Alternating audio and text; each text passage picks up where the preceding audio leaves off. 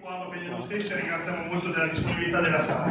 Eh, il, eolico, il progetto di parco eolico del Santa Donna a Borgotaro, intanto è un parco eolico molto particolare, già in questa diapositiva c'è molto, nel senso che fa vedere quali sono le sproporzioni rispetto a un parco eolico magari cui siamo abituati eh, a vedere in altre zone dell'Appennino. Questa è un po' la cronologia del progetto, il progetto è stato presentato un anno e mezzo fa come un progetto da tre pale, eh, quando ancora la competenza era regionale per la valutazione di impatto ambientale, Dopodiché nel maggio dell'anno scorso, eh, dopo una cospicua serie di osservazioni della Regione che valutava molte carenze del progetto di tre pale, sempre da 150 metri, eh, il proponente chiedeva di passare a, da tre pale eoliche da 150 metri a ben 9 pale, quindi di fatto stravolgendo quello che era il progetto iniziale. Adesso siamo nella fase eh, in cui eh, siamo nei 60 giorni di tempo per presentare tutte le osservazioni possibili, quindi le osservazioni del comitato, le osservazioni di tante altre associazioni che già sono dette disponibili a presentare molte osservazioni, perché ci sono davvero tanti aspetti non chiari di questo progetto e che hanno sollevato molti dubbi e molte preoccupazioni da parte della gente e da parte delle associazioni. Eh, il parco appunto prevede 9 pale dell'altezza pari a 148,5 metri di 3,37 MW l'una, quindi 4 volte la potenza delle pale che si possono vedere sopra l'albaretto. Noi siamo abituati quelle 4 palette che vedete di sotto, le proprie palette non sono perché anche quelle sono 70 metri. Eh, sino ad oggi chi andava su vedeva un'opera già di una certa rilevanza, queste sarebbero pale alte più del doppio e 4 volte la potenza di ciascuna delle pale di albaretto. Eh, un altro rapporto che dovrebbe far molto pensare è il confronto con il Castello di Bardi, ad esempio. Il Castello di Bardi è eh, l'opera umana più grande eh, costruita nei millenni nell'alta valle del Ceno e del Taro. Eh, il Castello di Bardi è alto circa 30 metri, l'altezza massima che è quella del mastio centrale. Eh, queste pale sarebbero 5 volte l'altezza del Castello di Bardi e sarebbero 2 volte la lunghezza del lato maggiore del Castello di Bardi. Quindi immaginate che dal punto di vista dell'impatto visivo, se noi mettessimo il castello in piedi, ce ne vorrebbe un altro castello per avere lo stesso impatto visivo sopra quello. Quindi eh, di queste torri chiaramente ce ne sono 9, quindi immaginatevi l'impatto visivo di 18 castelli di Bardi che non saranno belli purtroppo come il castello di Bardi. Anzi non sarebbero, usiamo il condizionale perché siamo convinti che le preoccupazioni e i dubbi siano talmente tanti per cui questo progetto dovrà essere come minimo molto rivisto se non addirittura bocciato totalmente. Eh, questa è la, la, pala che hanno proposto, che è circa 100 metri l'altezza del palo più circa 100 metri di diametro, quindi complessivamente circa 150 metri dell'altezza massima. La zona di progetto è questa, è all'interno del triangolo compreso fra i tre comuni di Bardi, Compiano e Borgotaro ed è proprio sulla strada che collega i due comuni fra Borgotaro e Bardi. La zona è questa, è una zona eh, densamente popolata e in particolare una zona che negli ultimi tempi ha ricominciato anche a ripopolarsi, una delle poche zone che ha invertito la tendenza dell'Appennino. È una zona di agriturismi, di bed and breakfast, ci sono molte frazioni che sono veramente vicine alle pale, circa un chilometro e mezzo, quali Osacca nel comune di Bardi, eh, la Costa e Porcicatore nel comune di Borgotaro e così via. Altra presenza molto importante è l'Osi dei Tirardi, che è diventata di, rec di recente per una, per una, parte riserva naturale regionale, quindi diciamo un'area protetta di particolare importanza in una zona che di aree protette eh, a livello quantomeno eh, regionale non ne ha tantissime. Abbiamo fatto eh, negli ultimi giorni anche degli altri fotomontaggi, perché i fotomontaggi che abbiamo visto non è che ci eh, soddisfacessero interamente, nel senso che erano soprattutto da Borgotaro, comunque da angolazioni che non erano proprio eh, così interessanti, che non facevano vedere bene l'impatto. Questa è la lista sopra Porcigatore e queste non sono eh, immagini per eh, ingigantire il rapporto delle pale, queste sono eh, riproduzioni in scala reale, nel senso che abbiamo fatto il modello con Google Earth e lo abbiamo incrociato poi con le foto sul posto, in modo da non fare degli errori anche di valutazione delle dimensioni delle pale. Questa è eh, la zona al taglio, eh, sopra Borgotaro, si intravede la chiesa di Porcigatore. Facendo un ingrandimento, vedete, queste sono dimensioni reali. Eh. Non so se vi rendete conto dell'impatto che hanno sulle frazioni circostanti. Cioè già questa immagine vi fa capire che veramente eh, gli abitanti di quella zona non potranno fare altro che vedere ridotti eh, i valori immobiliari, quantomeno se non disturbata per sempre la loro eh, quiete e la loro serenità abitativa. Questa invece è vista dall'altra zona, vista da Osaka, che è la frazione eh, non è l'abitato più vicino, perché ci sono anche degli altri nuclei abitati ancora più vicini, però diciamo che è il nucleo frazionale più vicino dalla parte di Bardi. Anche qua vedete che roba, anche queste sono dimensioni reali, eh? non è che siano dimensioni ingigantite per fare clamore. Anche questo è un dettaglio, vedete che sono veramente incombenti. Il giorno di Pasquetta siamo andati in giro per le frazioni, c'erano persone veramente molto preoccupate, c'è una piccola comunità locale e anche di persone che hanno le seconde case che erano veramente molto preoccupate sia per i loro investimenti che per la loro quiete, per la loro serenità. Questa è già una carta molto interessante, viene dal piano territoriale di coordinamento provinciale della carta del dissesto. Eh, la carta del dissesto rappresenta con le macchie rosse le frane attive e con le macchie arancioni le frane quiescenti, quindi le aree ad elevato rischio, diciamo, a medio ed elevato rischio geologico. Vedete che queste macchie verdi sono le aree interessate dal progetto, dalle opere del progetto, quindi eh, i polli verdi sono le nove pale, questo rettangolone verde è la sottostazione. L'area della sottostazione è l'area in cui viene trasformata l'energia prodotta dalle pale, dagli aerogeneratori e viene convertita e scambiata con la rete che passa di lì. Quell'area è grande più o meno come un campo da calcio, è circa 8.000 metri quadri e se vedete è posizionata a poche decine di metri da un complesso franoso sia attivo che quiescente che punta verso Porcigatone di di Borgotaro verso sud, mentre invece nella parte superiore vediamo che c'è anche lì un, esteso, un esteso movimento franoso eh, cartografato dalla cartografia del piano territoriale del coordinamento provinciale che punta verso la Valroveglia. Non ci sono soltanto le opere relative alle pale e al, alla sottostazione di scambio dell'energia elettrica, perché sono anche tutti gli allargamenti stradali questa qua è la sovrapposizione con la carta forestale, ma ancora vedete che tutte queste linee rosse sono le strade forestali che dovrebbero essere a detta del progetto adeguate. Ora, adeguamento secondo noi è quantomeno un eufemismo, nel senso che eh, un conto è adeguare una strada che è già una strada asfaltata, eccetera. Quelle sono tutte piste che sono di 2 metri, 2 metri e mezzo di larghezza.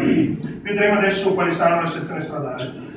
Questa è la sezione stradale tipo riportata dal progetto, che prevede una carreggiata di circa 4 metri di larghezza, che però con la cunetta e con i due rilevati, con la cunetta si arriva a 4 metri e mezzo, con i rilevati sia a valle che a monte, delle, dato che sono rilevati stradali che devono avere una grandissima importanza per poter permettere il passaggio dei bilici eh, con i pezzi delle paleodiche, dovranno avere dei rilevati sia a monte e cavalli che sostengono i versanti e il manufatto stradale quindi con questi rilevati andremo da un minimo di 6 metri di larghezza a un massimo anche di 8. Quindi voi immaginate di allargare delle strade di 2 metri sino a una larghezza di 6-8 metri per far passare dei bilici che devono portare su dei componenti lunghi anche 52 metri come sono eh, le parti delle eliche, voi vi immaginate eh, altro che adeguamento dovranno fare. Questa è una vista eh, dal deltaplano, eh, molto interessante dell'area di progetto. Questo qua è la displuviale, il crinale su cui dovrebbero essere installate le nuove pale. Vedete che quasi le strade forestali nemmeno si vedono. Le aree più scure sono anche molto interessanti perché sono delle pinete di rimboschimento, quindi sono state pinete fatte circa 40 anni fa, se non sbaglio, per rimboschire il crinale per prevenire il dissesto idrogeologico. Quindi questo progetto andrà anche in parte a intaccare quelle aree che nei decenni scorsi avevamo cercato di salvaguardare dal dissesto idrogeologico. Chiaramente la, la, riserva naturale regionale, l'Osi VF dei Grati, è proprio qui sotto, sotto l'area di progetto. Questa è una delle piste forestali che si dovrebbe adeguare, d'accordo? Quindi i bilici dovrebbero passare dei bilici che portano componenti eh, del pale ledi che sono lunghe 52 metri nella trasmissione che abbiamo fatto ieri in alto sulla rete locale, che è stata molto interessante, siamo molto soddisfatti di come è andato il confronto TV tra l'altro, eh, ci è stato detto che probabilmente le eliche con un sistema più moderno verranno trasportate non in orizzontali ma inclinate. Fatto sta che comunque eh, la viabilità verrà intaccata in modo molto molto pesante e quella pineta che si vede sullo sfondo chiaramente dovrà essere molto adeguata. Vedete, la strada è larga circa 2 metri, i punti più larghi forse arriveranno a 2 metri e mezzo, però vedete che da adeguare c'è veramente tanto su dei crinali così delicati. Queste sono pale più piccole che stanno portando su proprio in questi giorni, questa foto è di lunedì scorso, di lunedì di questa settimana, sono le pale che stanno andando a zero, stanno passando per la strada del Vareto. Anche qua avevamo detto adegueremo la strada, eh, la faremo diventare di 3 metri e mezzo, 4 metri, alle prime piogge già ci sono i primi smottamenti, lo vedete, questa qua è una foto di lunedì, eh, fresca fresca. Questa qua è la strada che va su Azzeri, vedete, strada larga 4 metri, vedete, non è assolutamente 4 metri, sono dei punti cui arriva 6-7 metri tranquillamente. Queste sono le ruspe che stanno lavorando. e chiaramente voi vedete che eh, e sono pale più piccole eh, di di progetto. Andiamo avanti, si vedono qua altre foto, chiaramente sempre la diapositiva e questi chiaramente sono i rilevanti che vanno fatti. Immaginatevi quelle eh, diapositive che vi ho fatto vedere prima con la copertura boschiva, verrà una cosa di questo tipo. Le pale non saranno così fitte ma saranno molto più alte, perché questo è un parco eolico con pale alte circa 60 metri, quelle pale che eh, sono di progetto sono 150, quindi più del doppio di queste che stiamo vedendo. Anche questi sbancamenti sono per pale molto più piccole rispetto a quelli di progetto. Voi immaginatevi su un crinale così delicato andare a fare delle opere di questo tipo.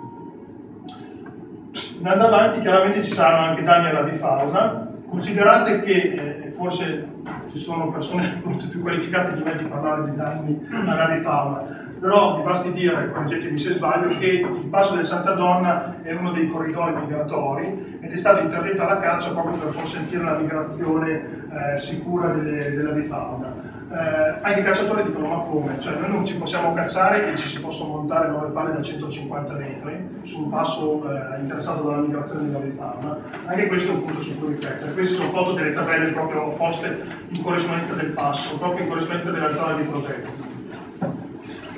Questa è una foto attuale della Valnoveglia, chiaramente anche la Valnoveglia è tutta l'area della Valvona interessata da cammini storici come ad esempio la via degli Abati, che è una via molto importante che possiamo considerare una sorta di variante della via francigena, che è stata interessata da importanti progetti ultimamente eh, e che è molto frequentata. Negli ultimi anni veramente eh, tante manifestazioni si stanno spostando dalla via francigena alla via degli Abati perché è una via probabilmente più interessante dal punto di vista naturalistico e dal punto di vista paesaggistico e quindi è una risorsa per il territorio che mettendoci in mezzo uno sbarramento di 9 pale, di 9 torri da 150 metri, probabilmente qualche eh, impatto sul turismo potremmo averlo anche da questo punto di vista.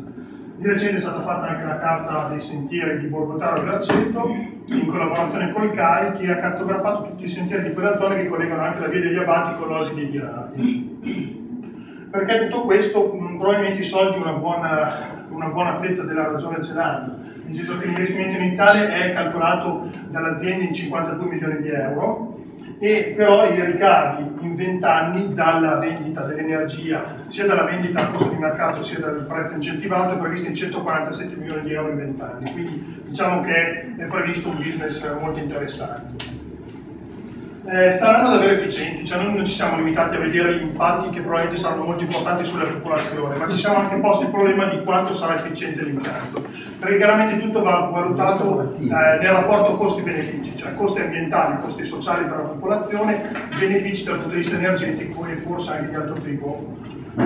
Questa è una foto classica del passo della cappelletta, delle quattro pale del Barreto. Una funziona, tre sono ferme. E anche da quel punto di vista ci siamo chiesti come è possibile che l'energia eh, che ci viene raccontata, che viene prodotta in quantità copiose, poi dopo sul territorio tante volte questi riscontri non si hanno. Da anni. Da anni, certo, da anni. Sì, da anni. Eh, questa è la scheda tecnica, quindi siamo andati un po' nel dettaglio. Con eh, la collaborazione di ingegneri che sono a supporto del comitato eh, siamo andati a valutare proprio il tipo di eh, scheda tecnica eh, della pala che hanno preso. Sono pale molto grandi, eh, di grande potenza, che funzionano probabilmente molto bene onshore e offshore, però sulla costa atlantica, dove c'è un vento molto intenso e prevalentemente costante e unidirezionale. Considerate che queste pale funzionano a pieno regime da velocità di vento che va da 13,5 metri al secondo in su, cioè quella che viene chiamata velocità di riferimento è 13,5 metri al secondo. Questa è la curva di potenza, ve lo dico molto velocemente, che eh, dimostra che sino a 3,5 metri al secondo di vento la pala neanche si muove, neanche lo sente vento. Da 3,5 metri al secondo di velocità sino a 13,5 la pala prende spinta, da 13,5 metri al secondo in poi di velocità la pala funziona veramente alla piena potenza nominale, cioè la pala è pensata per venti veramente intensi. Scusate, interrompo un attimo velocemente perché questa cosa del vento è molto importante. Eh, la regione stessa eh, nel eh, suo piano per l'energia ha indicato l'energia eolica come secondaria rispetto ad altri tipi di energia perché tutti gli studi comunque indicano il crinale appenninico dell'Emilia Romagna comunque come non particolarmente produttivo dal punto di, dal punto di vista dei venti. Questo perché? Perché chiaramente in Appennino ci sono delle conformazioni anche circolari di alcune valli, è vero che si generano dei venti, però sono molto incostanti e soprattutto provengono da direzioni diverse. eh, sono comunque rare le giornate eh, di eventi di una certa portata. Eh, pare di questa dimensione è molto importante capire, eh, perché ad esempio nel comitato ci sono molte persone che sono favorevoli all'energia eolica, tutti quanti comunque cerchiamo di guardare con attenzione eh, tutte le possibilità di produzione di energia alternativa perché il problema è importante, importantissimo. Ehm, però c'è eolico eolico. C'è una frase molto importante eh, che diciamo per far capire alle persone che ci dicono, quando noi spieghiamo il progetto ci dicono tutti, soprattutto dalla pianura della città, eh, secondo il concetto di eh, not, in my, not, in my, backyard, no? No, cioè bello, basta che non sia nel mio cortile, ecco la solita logica, ci viene detto ma io sono favorevole all'eolico. Allora noi rispondiamo, anch'io sono favorevole all'energia solare, ai pannelli solari, se però mi viene a dire che la torre di Pisa è ben esposta e quindi sarebbe adatta per installare dei pannelli solari, io ti rispondo, ti rendi conto? Cioè, il concetto che vogliamo far capire è questo. Queste pale hanno dei pesi che sono abnormi in termini di tonnellate. Non pensiate che si mettono in moto da sole, ad esempio. Cioè, il vento non è sufficiente per attivarle. L'energia che consumano, e tutte le tabelle ce lo indicano, ma non vi... Um, annoiamo con tutti i dettagli tecnici, è importante capire il concetto. Eh, per mettersi in moto consumano dell'energia. Per, per, per, riposizionarsi rispetto al vento. E questo in Appennino significa ogni qualche minuto perché il vento cambia continuamente di direzione. Consumano energia e in alcune fasi, soprattutto con i cambi di vento, altro problema del vento in Appennino, i continui cambi di intensità, per mantenere la velocità vanno a consumare energia. Ci sono dei dati molto interessanti che emergono, mm, ci sono alcuni parchi eolici che hanno dei periodi molto lunghi in cui le pale consumano molto di più di quello che producono, perché attenzione, le pale eoliche, soprattutto di queste dimensioni, consumano energia. Quindi se il progetto è sbagliato per dimensionamento e posizionamento può dare dei risultati che sono eh, surreali come quelli che noi siamo andati a misurare. Scusate se ho interrotto, ma è molto importante concentrarsi su questo. Non ho capito in che senso consumano energia. Cioè, hanno, hanno un assorbimento elettrico per il posizionamento. Energia elettrica energia elettrica perché il motore le mette in moto, energia ah. elettrica perché il rotore si possa girare. Stiamo parlando di decine di tonnellate. Eh? Esatto, come, cioè, soltanto per sostenere la parte dell'elica ci sono quattro motori che permettono l'allineamento della pala per il vento che c'è quel giorno. E un conto è se il vento è costante, ma negli Appennino abbiamo delle raffiche molto discontinue, raffiche che fanno girare molto bene gli anemometri ma che fanno girare molto bene queste pale. Allora, considerate che per fare tutti questi dati sulla produttività, che comunque non è dimostrata la produttività, e ve lo facciamo vedere fra un secondo, hanno usato due anemometri, uno che era stato posizionato qualche anno fa per un progetto diverso, eh, sempre però nell'area di progetto, alto 30 metri, e l'altro alto 55 metri. D'accordo? Quindi due anemometri, cioè diciamo due torri anemometriche soltanto, uno di 30 e l'altro di 55 mentre invece il palco avrà un'altezza media al centro delle pale di circa 100 metri, d'accordo? Su un, crinale lungo 3 km, quindi su un crinale lungo 3 km, con un'altezza di vento media che dovranno prendere 100 metri, hanno dei dati soltanto su altezze di 30 e 55 metri. E da queste due altezze hanno ricavato poi tutti i dati sulla produttività. Dati sulla produttività che vanno verificati non perché noi vogliamo fare le pulci al bilancio aziendale, ma perché la regione con la normativa regionale la 51 del 2011 dice voi potete fare dei parchi eolici anche in zona agricola e in zona boschiva, però dovete dimostrare che sia veramente produttiva, che non sia soltanto una speculazione per prendere degli incentivi. Quindi va verificato che ci siano dalla normativa regionale almeno 1800 ore di funzionamento alla piena potenza nominale all'anno. La norma in questo è molto chiara. Dice se è possibile costruire parchi eolici nelle aree agricole nelle quali gli impianti risultino di elevata efficienza in termini di alta produttività specifica definita come numero di ore anno di funzionamento alla piena potenza nominale comunque non inferiore a 1800 ore all'anno. 1800 ore all'anno non sono neanche tanto, la regione non è che chieda tantissimo, perché se uno fa diviso 24, quindi diviso 24 ore al giorno, 1800 ore all'anno sono 75 giorni all'anno di funzionamento alla piena potenza nominale, quindi circa un giorno su 5. Quindi la regione non è neanche così cattiva nel chiedere tu mi vai a intaccare una zona agricola o una zona boschiva, dimostrami almeno che sia abbastanza efficiente. Noi abbiamo fatto questo, cerco di dirvelo in un minuto neanche. abbiamo ricostruito dai dati loro, dai dati che hanno fornito loro sulla produttività delle varie pale, quanto produrranno alle varie velocità di vento. Questa è la velocità del vento. In questa parte del grafico ci sono le ore di vento alla bassa velocità. Quindi in questa parte è sotto i 3 metri al secondo, quindi la pala neanche inizia a funzionare per queste ore di vento qua. Queste ore di vento qua invece la pala inizia a funzionare da 3,5 metri al secondo sino a 13,5 metri al secondo. La parte buona di vento qual è? È quella tutta alla destra del grafico, quindi questa parte qua. E vedete che di ore all'anno di quel vento giusto per far girare la piena potenza nominale ce n'è veramente pochissimo quanto poco, qua abbiamo ingrandito quello spicchietto di grafico, cioè quello in cui la palla funziona a piena potenza nominale. Questi sono dati loro, eh, non sono dati nostri, abbiamo soltanto messi in un grafico. Sono una media palla di circa 458 ore all'anno di funzionamento alla piena potenza nominale, che diviso per 24 ore al giorno fa 19 giorni all'anno. Cioè queste palle alla loro piena potenza nominale funzioneranno circa 19 giorni all'anno, vuol dire circa un giorno su 20 all'anno. D'accordo? Poi cosa succede? Che questo qua è un grafico che assolutamente non provate neanche a leggere, fidatevi. Eh, se volete vi mandiamo le slide, se ci lasciate il vostro indirizzo mail. Sono tutte le pale, abbiamo graficità tutti i dati che hanno dato i proponenti, cioè i dati teorici ricavati sugli anemometri. E questa qua è la pala media, cioè abbiamo fatto la media di tutte le produttività di ogni pala e sono appunto quelle 458 ore che sono più o meno equivalenti a un giorno su 20 all'anno.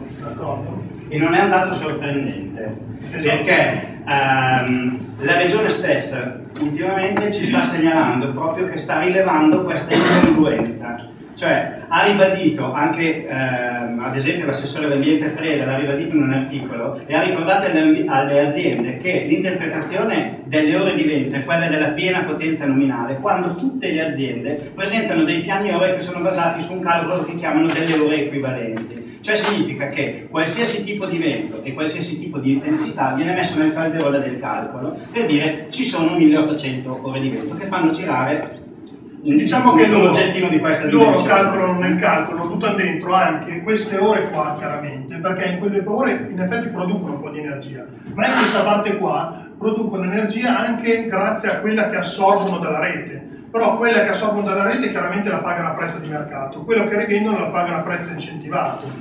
Quindi più che un bilancio energetico diciamo che loro hanno un bilancio economico. Questa il, parte... GSE, scusate, ci dice il GSE sapete che è l'ente che gestisce appunto i finanziamenti e gli incentivi per chi produce eh, attraverso energie alternative. Ci dice infatti che pur avendo ovviamente presentato tutte le aziende che hanno i parchi eolici in funzione in questo momento e che quindi danno già uno storico, ovviamente tutti hanno dichiarato dalle 1800 ore alle 2000 circa quando hanno presentato il progetto. Anche perché non avrebbero altrimenti ottenuto le autorizzazioni, quindi hanno presentato questo progetto. Ma la media di produzione sul crinale appenninico dell'Emilia Romagna in questo momento è di 1000 ore. Quindi chiaramente in questo momento l'ente regione si sta preoccupando di un'incongruenza molto grossa tra i dati che sono stati promessi e i dati dell'effettiva produttività di queste pale. A, ehm, a compensazione diciamo, di un danno paesaggistico e ambientale che non vede invece dall'altra parte una produzione sufficiente. Quindi è un dato che è più o meno quello a cui arriviamo noi, cioè quei parchi che stanno già funzionando sul territorio regionale nello storico evidenziano che non stanno producendo quelle 2000 ore all'anno, ma stanno producendo più o meno 1000 ore all'anno. E quelli di questa dimensione c'è un altro parco da, 150, eh, da 120 metri, perché le 150 ancora non le abbiamo viste in funzione, che infatti sta dando dei dati di 400 ore di produttività, molto preoccupanti. Perché appunto noi abbiamo rilevato che effettivamente aumentando la dimensione delle pale si abbassa fortemente la produttività, proprio per il problema peso, messa in moto, autoconsumo e riposizionamento. Diciamo che i dati degli anemometri che girano a qualsiasi alito di vento probabilmente sono riportati, crediamo noi, un po' in modo eh, molto ottimistico come dati di produttività teorica. Quindi se la regione chiede 1800 ore di funzionamento alla piena potenza nominale, noi rileviamo che la pala media funzionerà circa un quarto di quello che richiede la regione. Andando avanti, eh, noi siamo arrivati più o meno alle conclusioni da cui erano arrivati probabilmente da millenni i nostri antenati, nel senso che di impianti eolici in Appennino di mulini a vento non ce n'erano, non probabilmente perché eh, non conoscessero la tecnologia, ma probabilmente perché tutto questo vento per farlo girare non c'era e nel Medioevo probabilmente non c'erano gli incentivi statali per far girare delle, delle palle di mulino a vento. Considerate che questo tipo di tecnologia, questo tipo di pale che ci sono, eh, in Danimarca e in Olanda funzionano invece sulle 2500 ore all'anno alla piena potenza nominale.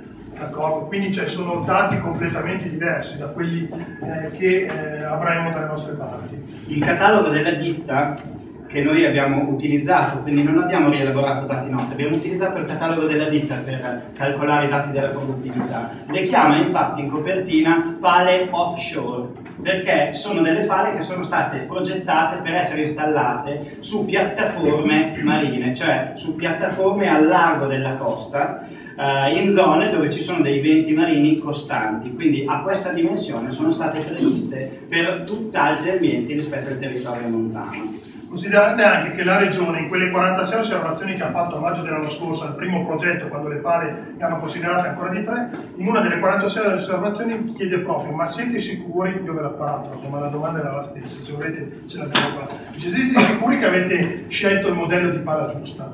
Non potete provare a fare delle valutazioni su anche altri tipi di modelli di pala, perché il vento che c'è dai vostri dati non sembra congruente con quello che sarebbe la produttività di quel modello di pala.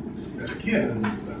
La ditta? Eh, Eh, sì, allora si chiama società che produce o che vuole installare... Allora, eh, la società si chiama Eolica Parmense, che al 75% è capitale svizzero, d'accordo? Quindi eh, sono società finanziarie svizzere che hanno la quindi liquidità, poi i soldi di chi siano veramente eh, la Svizzera non possiamo saperlo. E il 25% invece è di soci privati prevalentemente locali, quindi prevalentemente da comunità. Cioè, proprio ieri è stato sequestrato un miliardo e 300 mila 300 milioni di euro beni pari di proprietà della mafia a un magnate dell'eolico. Sì, eh, la sappiamo bene, Cioè, eh, io fino a che non so nome, cognome e indirizzo, io credo che ci sia veramente da sospettare e ingenerare il sospetto che dietro imprese di queste dimensioni, di questi costi, di questi oneri e soprattutto con questa scarsissima attenzione all'impatto ambientale e sociale ci possa essere qualche cosa che vada accuratamente passato al settaggio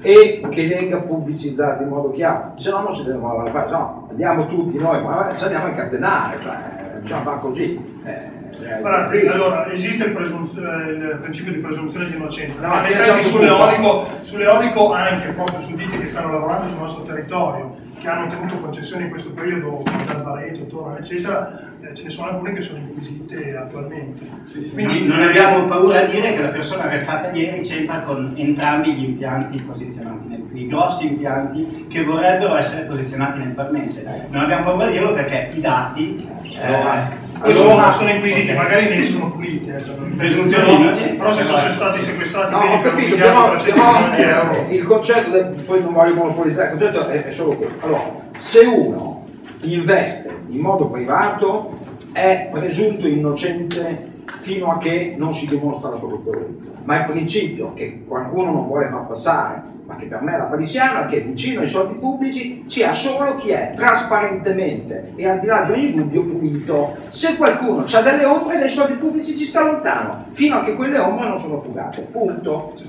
No, diciamo da Non Eh, fino a che uno non è colpevole passato in giudicato, che ci vogliono 15 anni, no, anche il Capone era, era- era innocente fino a che non è giudicato e ci sono No, no, 30 anni. no, Però è il Capone, cioè principio, Siamo- siamo cioè, bisogna essere chiari eh, su questo. Sì, sì, no, ma su questo Chiedo ci scusa sarebbe per- no, no, ma siamo, siamo in linea. Cioè, ormai ne abbiamo viste Eh, troppe. Una domandina, c'è una relazione con il parco eolico della CISA che voi sappiate? Eh, una relazione di questo tipo. Cioè dice. eh, se le- le- la società interessata è collegata con quello... No, non ce l'abbiamo ancora, però adesso a breve ci interesseremo probabilmente anche di quello, perché eh, stanno saltando fuori cose molto interessanti su questa sorta di, eh, possiamo dire, aggressione al territorio, nel senso che nel giro di un anno le pale, da quelle 4 di Alzaretto, nel giro di un anno il nostro compressore potrebbero diventare 50. che non sono neanche nostre, perché quelle del Barreto sì, ma le Sì, che tra l'altro sono in eh, territorio d'accordo? Nel giro di un anno potrebbero bastare con i progetti che ci sono in cantiera circa 50 paleoliche di varie altezze, però da 0 a 50 l'impatto, il peso sul territorio ci sarà.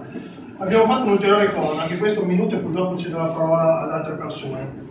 Eh, I comitati spesso vengono visti come quelli che si mettono di traverso a tutto no? e che quindi dicono soltanto dei no. Quindi abbiamo cercato di fare uno sforzo in più. Eh, il problema non è, noi siamo tutti a favore delle fonti rinnovabili, produzione di energia da fonti rinnovabili. Bisogna dire però progetto per progetto.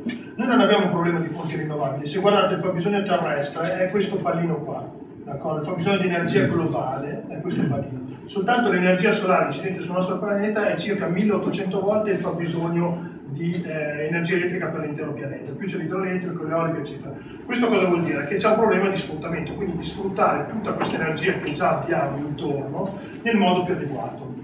Abbiamo quindi cercato di capire se eh, l'obiettivo che si è posto l'Unione Europea andare al 2020 di aumentare la produzione di energia da fonti rinnovabili del 20% sul nostro comprensore che verrà gravato da eh, questo progetto, che dovrebbe essere gravato da questo progetto, speriamo di no, eh, arriverà con l'obiettivo di produzione del 20% di energia da fonti rinnovabili. E abbiamo fatto una ricognizione appunto di tutte le fonti di energia già sfruttate nel nostro comprensore abbiamo preso in considerazione gli otto comuni che saranno tutti intorno all'area del progetto, Borgotaro, Valdi, appunto, Valmozzo, Alberceto, Albareto, Torno, Compiano, Besogna.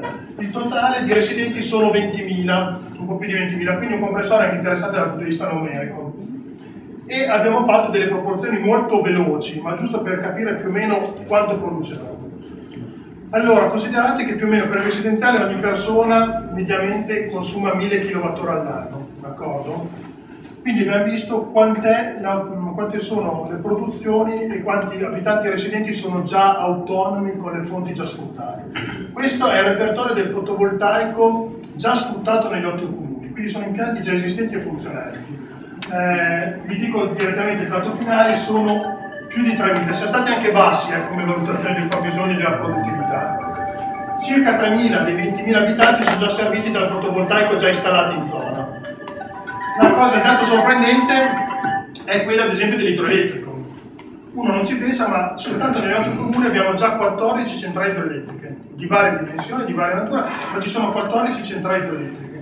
La più importante è quella di Bardi, che è stata costruita negli anni 30, e che produce, questi sono dati dell'Enel Green Power, produce circa l'equivalente del fabbisogno di più di 19.000 abitanti, d'accordo?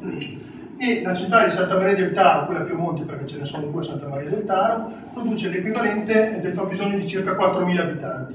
Insomma, queste 14 centrali più o meno soddisfano il fabbisogno di circa 30.000 abitanti equivalenti. Questo vuol dire che siamo già a posto, non è proprio così, perché 20.000 abitanti consumano per il residenziale eh, circa eh, 20 GWh all'anno, però poi c'è il fabbisogno anche per l'industriale e l'artigianale e c'è il fabbisogno elettrico anche per l'illuminazione pubblica. Quindi abbiamo considerato che di quei 20.000 abitanti equivalenti possiamo aggiungere più o meno, eh, questo qui ci vuole un piano energetico specifico, però per fare un'equivalenza abbastanza veloce possiamo stimare che il carico di abitanti equivalenti per metterci dentro anche i fabbisogni industriali e di illuminazione pubblica possiamo far diventare 40 e anche 45.000 considerando l'illuminazione pubblica. Quindi dovremmo arrivare a un fabbisogno di circa 45.000 abitanti equivalenti per stimare anche i fabbisogni di industriali, artigianali e illuminazione pubblica.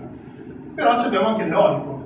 L'eolico soltanto con i due impianti autorizzati proprio di recenti, che dovrebbero essere installati a breve, coprono il fabbisogno di circa 46.000 abitanti equivalenti. 40.000 quella della ditta Friel delle 7 pale sopra Alvareto e opprimiti altre 5 pale più piccole altre 6.000 abitanti. Quindi abbiamo 3.000 di fotovoltaico, 30.000 di idroelettrico, 46.000 di eolico, siamo a circa 80.000 abitanti equivalenti serviti su un comprensorio che abbiamo detto che gli equivalenti possiamo considerare 45.000 per considerare tutti i fabbisogni elettrici. Questo vuol dire che siamo più che autosufficienti? Non è proprio così perché chiaramente l'idroelettrico d'estate funziona un po' meno, il fotovoltaico non copre i fabbisogni notturni, però se produciamo l'equivalente di circa 80.000 eh, abitanti equivalenti anche le sovrapposizioni, quindi quando questi sistemi funzionano, probabilmente siamo già autosufficienti come energia già prodotta o già autorizzata. Questo per dire cosa su questa cosa, non perché sappiamo fare i conti o perché abbiamo delle competenze in campo energetico, ma per dire che non ci vengano a raccontare che abbiamo bisogno di mega progetti per essere autosufficienti dal punto di vista energetico. se adesso non producessimo niente dal punto di vista della produzione di energia da fonti rinnovabili ci potrebbe anche stare il discorso facciamo dei mega impianti eolici, ma dato che abbiamo in parte anche dimostrato che già il nostro territorio ha dato tanto, sta già dando tanto per la produzione di energia, non ci vengano a dire che per forza siamo lì ad aspettare una società al 75% a capitale svizzero che ci fa il favore di venire a produrre energia sul nostro territorio. Una, quello che si vedeva, per curiosità, il ovviamente che sono fermate le sarebbe? No, le, sono quelle autorizzate adesso, sono state appena autorizzate l'anno scorso e dovrebbero partire fra poco. E fa il Barete e Turno, fa il... Il Crossi? Sì, esatto. Lo si vede da già affittato dal cemento? Sì, esatto, sono quelle più un'altra, un'altra. Ehm, questo cosa vuol dire questo discorso? Che non dobbiamo più produrre nessun tipo di energia da fonti rinnovabili sul territorio? No, vuole soltanto dire che adesso possiamo anche permetterci il lusso di puntare sugli impianti medio-piccoli, cioè quelli che hanno un impatto ambientale piuttosto contenuto, che non abbiamo bisogno di eh, svendere tutto un crinale, di impattare sul paesaggio, sulla popolazione, sulla fauna, su tutto l'ecosistema, sugli sforzi della gente che cerca di restare in montagna, su quelli che tornano in montagna, perché di energia ne produciamo e di impatti ambientali ne abbiamo già avuto tanto. Davide, vuoi vuole aggiungere qualcosa sulla parte Beh, della salute? Cito eh, il, la consigliera Meo che vedo presente in sala che nella sua dichiarazione stampa ci ha dato una dichiarazione per noi molto importante quando ha detto che la regione Emilia Romagna ha già raggiunto gli obiettivi che eh, erano stati Esatto, che erano stati posti, quindi questo per noi è un altro dato importante. Quindi prima di procedere con ulteriori devastazioni, poi possiamo discutere e anche l'altra sera alla TV locale dove siamo andati a confrontarci, c'era anche il sindaco di Bardi Conti che è presente qui, eh, a confrontarci con i proponenti e con il comune di Borgotaro, tutto il gioco era ma poi alla fine sono così carine, ma poi alla fine non danno così fastidio, oppure delle frasi del tipo ma dopo un anno non vi accorgerete quasi più che ci sono perché vi sarete abituati. Questo lo dice una persona che hanno la casa a 500 metri dagli impianti. Il turismo. Eh, poi sì, è stato, si è parlato di turismo eolico, che è una, un neologismo che devo approfondire e sul quale ho messo la mia totale ignoranza, sui numeri del turismo eolico. Eh, fra le altre cose, qua siamo in tre, eh, che facciamo parte anche del comitato, oltre al nostro mestiere primario, un'attività per noi molto importante, c'è anche Guido che si occupa della OSI dei, dei Ghirardi del WWF, è quella dell'attività di guide ambientali escursionistiche e che su quel territorio particolarmente eh, prezioso sta avendo dei numeri veramente molto interessanti. Chiaro, non stiamo parlando di un turismo che risolverà i problemi della vallata, però stiamo parlando di un durissimo lavoro quotidiano da fare giorno per giorno con qualche decina di persone da portare in valle che dorme, mangia, fa benzina, va in una farmacia, apprezza il territorio e quando se ne va non ha lasciato traccia della sua presenza in termini di danno se non comunque qualche euro che è rimasto sul territorio e che ha dato comunque qualche posto di lavoro. Non sono miracoli, sono piccoli passi che però in questo momento stanno funzionando. Noi riteniamo che cosa? Che eh, la vita in montagna sia comunque abbastanza dura per gli abitanti. Io misuro gli abitanti della montagna in quelli che ci passano l'inverno e l'inverno è lungo, l'inverno è duro e le persone in montagna si arrabattano con tre o quattro mestieri per riuscire a rimanere lì con testa pagine. Hanno tutti in comune una grande risorsa, che è il territorio e che è il paesaggio. Pian piano ci stanno venendo delle piccole idee per metterle a frutto e stanno funzionando. Eh, questa, questo tipo di scelte così grandi, così impattanti, come minimo sono un cambio di indirizzo molto forte e molto violento che non è stato preannunciato in nessun modo. Questo è quello che ad esempio ho detto anch'io.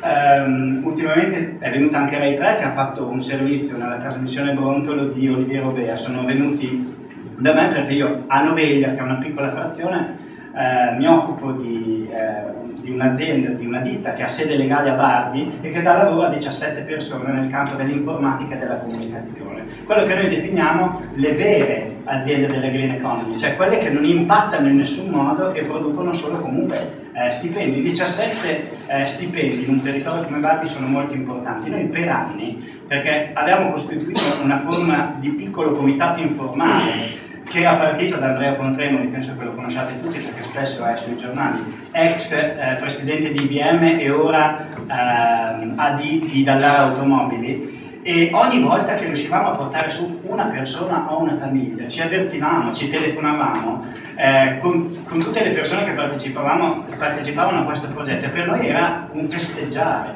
Abbiamo fatto rimanere una famiglia che se ne sarebbe andata, abbiamo portato su, eh, abbiamo portato su una famiglia che si ferma qui. Chiaramente eh, con la logica un po' dei figli per la, per la patria, chi aveva bambini valeva di più, ecco questo. Però ad esempio quest'anno eh, lo dico spesso, eh, noi abbiamo posto al sindaco Conti un problema che credo che non lo abbia preoccupato. Il miglior problema che gli si poteva porre, quando gli abbiamo chiesto di darci il secondo pulmino a Novelia, nella piccola frazione, cioè il secondo pulmino dei bambini, in un territorio che vede solo lo spopolamento, in cui noi contavamo ogni anno quanti di meno eravamo, capite che per noi è veramente un cambio di passo concreto. L'altra sera durante la trasmissione la cosa che abbiamo voluto fare capire a quella parte di politica che non ha voluto eh, svolgere il suo ruolo di contrappeso e di controbilanciamento delle normali eh, esigenze di imprenditori che vanno a cercare di fare forse speculazione ma chiamiamolo business.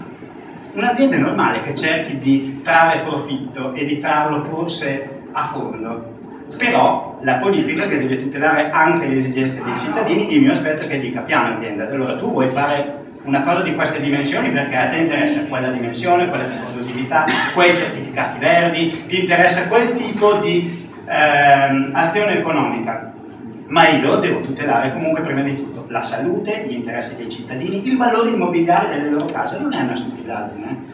Poi voglio passare la parola anche a Gigi Cavalli che ha seguito questo aspetto, però mettetevi nei panni di chi a un certo punto sa che dal momento in cui questo progetto va avanti la sua casa automaticamente ha perso il 50% del valore, dormireste tranquilli? È questo che vi chiedo. Ma soprattutto la preoccupazione è anche di fronte alla perdita del valore, ma chi la vende più una casa sotto a un ecomostro del genere? Uno non ha più la possibilità di dire posso vendere la mia casa nel momento in cui ho una difficoltà, ho un'esigenza, devo spostarmi, qualsiasi cosa, non hai più questo tipo di libertà. E noi a un certo punto vi abbiamo, vi abbiamo detto, voi avete deciso di sacrificare una fetta della popolazione, però c'è un'azione che, permettetemi il termine, è molto sporca, perché tra i dati mancava un dato importante, cioè questo impianto è collocato su un confine con il comune di Bardi, cioè il comune di Borgotaro ha deciso di fare questo impianto sulla pelle di di, anche di una popolazione che stava dall'altra parte. Quando noi gli abbiamo, gli abbiamo, detto, ma la gente che ha comprato casa e che non sapeva quello che stava per succedere, loro ci hanno detto, ah, dovevate informarvi, informarvi era nel nostro programma elettorale. Allora intanto buona parte di quella popolazione non aveva neanche la possibilità con il voto di influire su quella decisione, perché erano altri cittadini che stavano votando rispetto a quella decisione. E allo stesso tempo comunque anche proprio la scorrettezza poi di non rapportarsi in nessun modo a un comune che stava dall'altra parte. Il comune di Bardi non lo sapeva. Cioè, tenete conto che alle prime osservazioni, le prime osservazioni del progetto da tre pali iniziale sono scadute senza che eh, quasi nessuno di noi lo sapesse, solo eh, Guido e Poti all'ultimo giorno sono riusciti a presentare di corsa delle, a gennaio dell'anno scorso a presentare delle osservazioni, quindi di questo progetto assolutamente non se ne sapeva nulla. Il primo dibattito pubblico è stato fatto eh, quattro mesi dopo, cioè a maggio. Sì. Quindi quattro mesi dopo sono scadute del tempo delle osservazioni al primo progetto. Su, su, questo progetto di tre pale, che noi abbiamo capito benissimo che comunque quando è stato presentato il progetto da tre pale ne avevano già in testa nove, Ce l'hanno detto anche l'altra sera. Ce l'hanno detto spudoratamente. Cioè, ce l'hanno detto che nel 2007 hanno fatto una riunione con la precedente amministrazione di Borgottaro per discutere appunto del progetto di quarto e più o meno la logica tattica era ne presentiamo tre perché tre possono passare, una volta che ci hanno provato tre e le abbiamo installate, secondo la logica che ha già funzionato di dire quel territorio è già compromesso, allora a questo punto altre pale è meglio farle lì invece che in un altro territorio. Ecco, puntavano su questo tipo di tattica perché purtroppo effettivamente in altri territori così ha funzionato.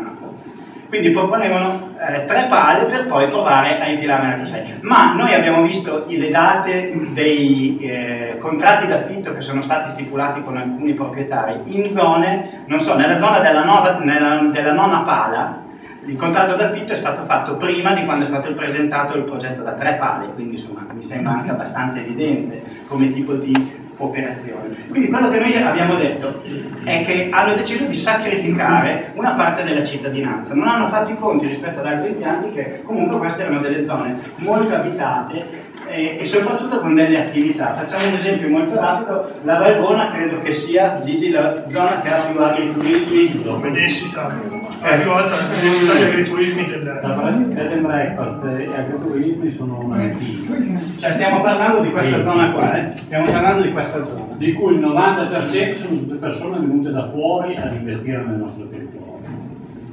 Allora, vi dice due parole Ah. eh, Gigi Cavalli che è eh, esperto del settore immobiliare eh, della- delle nostre valli appenniniche e che è anche, anche blogger molto seguito come diciamo opinionista e come opinion leader. Scusate, una curiosità molto importante. Il grosso dell'energia elettrica in Italia, da quale sistema è prodotto? Che, eh, è prodotto da, da nucleare e da carbone, cioè in parte da nucleare. Carbone e petrolio. Fossile. Quando non ci sarà più petrolio, come faremo? No, no, ma guardi, si tratta di valutare progetto per progetto. Quello che abbiamo cercato adesso la facciamo intervenire. Eh, il discorso è questo, che su altri tipi di progetto non, si- non ci siamo neanche opposti. Però bisogna valutarlo, perché non è che un problema si risolva in un solo giorno con un solo progetto. Ci sono progetti che vanno in quella direzione in modo sostenibile, ma la produzione di energia pulita non è sempre sostenibile, quello. Perché pale eh, di microeolico da 30-40 metri sono una cosa, pale da 150 metri non sono progetti neanche paragonabili, perché tante persone che non hanno preso in esame questo progetto, che non hanno visto i fotomontaggi, eccetera, dicono quello è un parco eolico, non dicono un parco eolico impattato, è un parco eolico. Questo è eh, probabilmente uno scempio del nostro bene più prezioso, che è il territorio, che è il tessuto sociale. Cavalli, eh, facciamo poi intervenire il consigliere regionale di Assunto. Sono brevissimo, anche perché in soldoni la facciamo breve. Nel senso che io vi dirò soltanto cosa, co- cosa cambierà nel caso lo facessero in tutte queste località che vedete qua, che vanno mediamente dai 5, 6, 7 km dal centro. Quindi tutte queste zone qua all'incirca, ho, ho dato una, una botta anche con gli altri colleghi dell'immobiliare, sono circa 200-250 case in vendita in, tutta in tutte, in tutte queste località. Eh, da una stima che, che ho fatto anche sul campo, eh, con quella del passo della cappelletta, quindi ci sono già quattro pale, c'è una, una, una piccola frazione che ha circa un chilometro in linea d'aria, quindi ha già un chilometro di linea d'aria quando va una sola pala, perché su cappelletta ce ne sono quattro ma ne gira una sola, quando ne gira una sola a un chilometro ha il ronzio 24 ore su 24, quindi io lì avevo due case in vendita. In sei anni sono state, saranno state vendute 200 case, quelle di Caserè sono ancora lì. Ma sono ancora lì perché? No. Tra l'altro sono in un posto fantastico, eh, c'è il paesino di 20 case, siamo a 1000, no, 950 metri d'altezza, c'è tutta la vallata aperta davanti, le vendono al 50% di quello che dovrebbero costare e non si vendono. Non si vendono perché? Eh, allora, il nostro mercato intanto è 80% Lombardia, quindi Milano e dintorni, e 20% estero, quindi eh, Olanda e Belgio, è il nostro mercato. eh. Quando io porto delle persone sul posto e sentono il rumore, che poi sia sicuramente un'energia pulita, sì sì vabbè, però vanno a vedere un'altra e quindi se ne vanno perché c'è il ronzio 24 ore su 24 e ne funziona una sola, eh, non quattro, a un chilometro. Sono un quarto della potenza di quelle previste. Sì, e poi è la metà anche come, come dimensione. Quindi, eh, ad onore del vero di quello che è successo lì, posso immaginare in una zona ancora più popolata che è Forcigatone, che è la Valnoveglia, eh, e, la- poi di là Cafaraccia, cosa, cosa accadrà? Anche perché di là c'è proprio una concentrazione turistica di bed and breakfast, di agriturismi, di gente che per anni ha investito centinaia di migliaia di euro per cambiare vita, perché comunque si sono tutti trasferiti, e fanno attività qua, eh, loro, immediatamente io ho venduto il territorio per vent'anni per quello che era, quindi sano. Adesso mi ritrovo che non è più sano, cioè è sano sotto l'aspetto diciamo, dell'energia pulita, ma non è più sano dal, dal, punto di vista della vita. Allora, io ieri, eh, per farvela ancora breve, ho scritto le osservazioni che farò, porterò domani mattina in provincia, che sono le, le osservazioni che, che, ognuno di noi può fare eh, a questo progetto. Ho voluto concentrarle in 20 righe, perché ho detto se no non me le leggono. Allora, concentrato in 20 righe, ho fatto la storia di 20 anni e di quello che accadrà nei prossimi 20 anni nel caso che questo accadesse. Ve le leggo e chiudo. Allora, premettendo che non siamo, quindi questa è indirizzata alla provincia, eh, come, come valutazione di impatto ambientale. Quindi, premettendo che non siamo, è il plurale perché scrivo per la società eh, di cui lavoro, quindi io e il mio socio. Premettendo che non siamo contro la produzione di energia eolica, ma bensì contrari ad impianti industriali eolici di proporzioni gigantesche e posizionati in luoghi non appropriati. Avendo preso visione del progetto della società eolica Parmense SRL, viste le dimensioni e il numero di torri, siamo contrari a questa realizzazione in quanto i danni economici che un, sim- un simile impianto provocherebbe alla già difficile economia della Valtaro sarebbero disastrosi. Se ciò venisse realizzato sarebbe un'ulteriore sconfitta per quei, per quei cittadini che in passato hanno investito soldi, compiuto scelte di vita, quindi sogni, in una vallata come la nostra. Da professionisti del settore immobiliare radicati sul territorio dal 1960, quindi io l'ho ereditata questa, questa azienda, però è, dal 1960 che esiste quindi ben consapevoli delle caratteristiche occorrenti per chi decide di investire nella nostra vallata, facciamo presente che già ora, visto il tantam su internet, nelle richieste di rustici poderi viene specificato se la proprietà è posizionata nelle vicinanze delle costruente pali. Segue risposta di disinteresse anche se sono esposti alla vista delle suddette pali. Quindi io già ora ricevo delle richieste dove mi dicono ma la casa dov'è? È vicino al costruente. Quindi c'è già il problema, chiedono già dov'è ancora prima di farlo. Quindi figuriamoci dopo se ci sarà. Facciamo inoltre presente che il mercato locale, almeno quello da noi condotto, è indirizzato all'80% ai residenti in Lombardia, mentre il restante 20% a cittadini esteri, Olanda e Belgio. L'indotto di queste vendite non è solo indirizzato alla nostra agenzia, ma a tutto il settore edile artigiano, trattandosi in gran parte di vecchi tipici fabbricati di pietra che necessitano quindi di ristrutturazione, finitura e arredamento. Quindi non è solo la mancata vendita del mio, del mio guadagno, perché io anziché vendere un prosciugatore la venderò a, a bore, quindi alla, me, alla fine non, non cambierà poco. Però è tutto l'indotto che c'è dietro la vendita di una casa, le case sono da ristrutturare, quindi ci va dietro dal mobile all'elettricista, all'idraulico, alla televisione, al, al letto. Eh, un altro aspetto da non sottovalutare, anzi primario, è la svalutazione degli immobili di circa il 50% di quelli posizionati fino a 5 km dalle pale ma potrebbe essere anche peggiorativo in quanto non esiste praticamente mercato per quegli immobili posizionati fino a 1 o 2 km dalle pale. Esperienza venuta alla luce da abitazioni in vendita poste, poste nei pressi di locali case re del comune di Appareto, zone interessate da quattro pale eoliche poste sul crinale nel territorio della regione.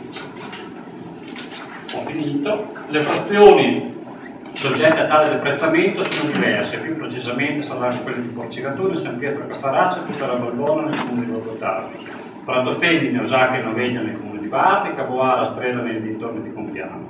In tutte queste località sono presenti ed in attività oltre una ventina di agriturismo e bed and breakfast, oltre 150 le case vendute, di tutte seconde case, io parlo sempre di seconda casa. Eh. In questa zona qua sono state vendute in questi diciamo 20 anni, 30 anni, 150 case, dove in alcuni casi gli investimenti effettuati ammontano a diverse centinaia di migliaia di euro, come ad esempio costruendo ecovillaggio turistico a case sottane, quindi a Porcicatone, ad un solo chilometro da Porcicatone in prossimità delle pale. Quindi stanno facendo un ecovillaggio turistico autosufficiente, quindi con un mini eolico loro, con il con il solare, quindi quell'azienda lì sarà totalmente, quindi ha un chilometro esatto, quindi è una cosa turistica indirizzata a persone che andranno lì a, a, a rilassarsi e a passare il weekend o la settimana.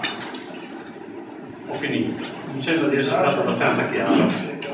Io darei la parola al consigliere regionale Gabriele Mea, eh, che ringraziamo di essere qua. Io volevo intanto buonasera.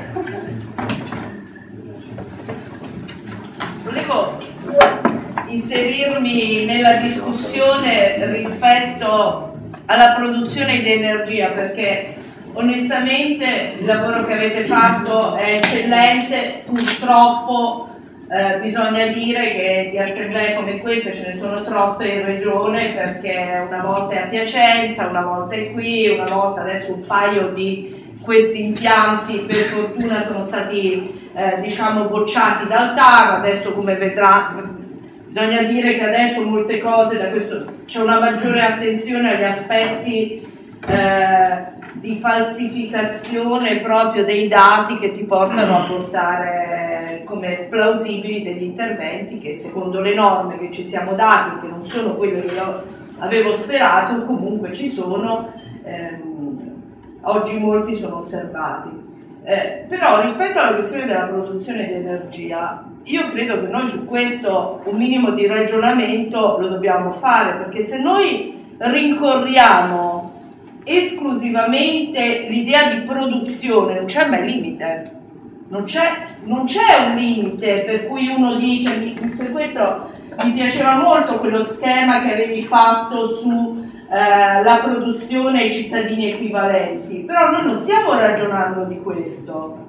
Purtroppo noi stiamo ragionando semplicemente di un enorme possibile profitto determinato anche da una grande quantità di contributi pubblici.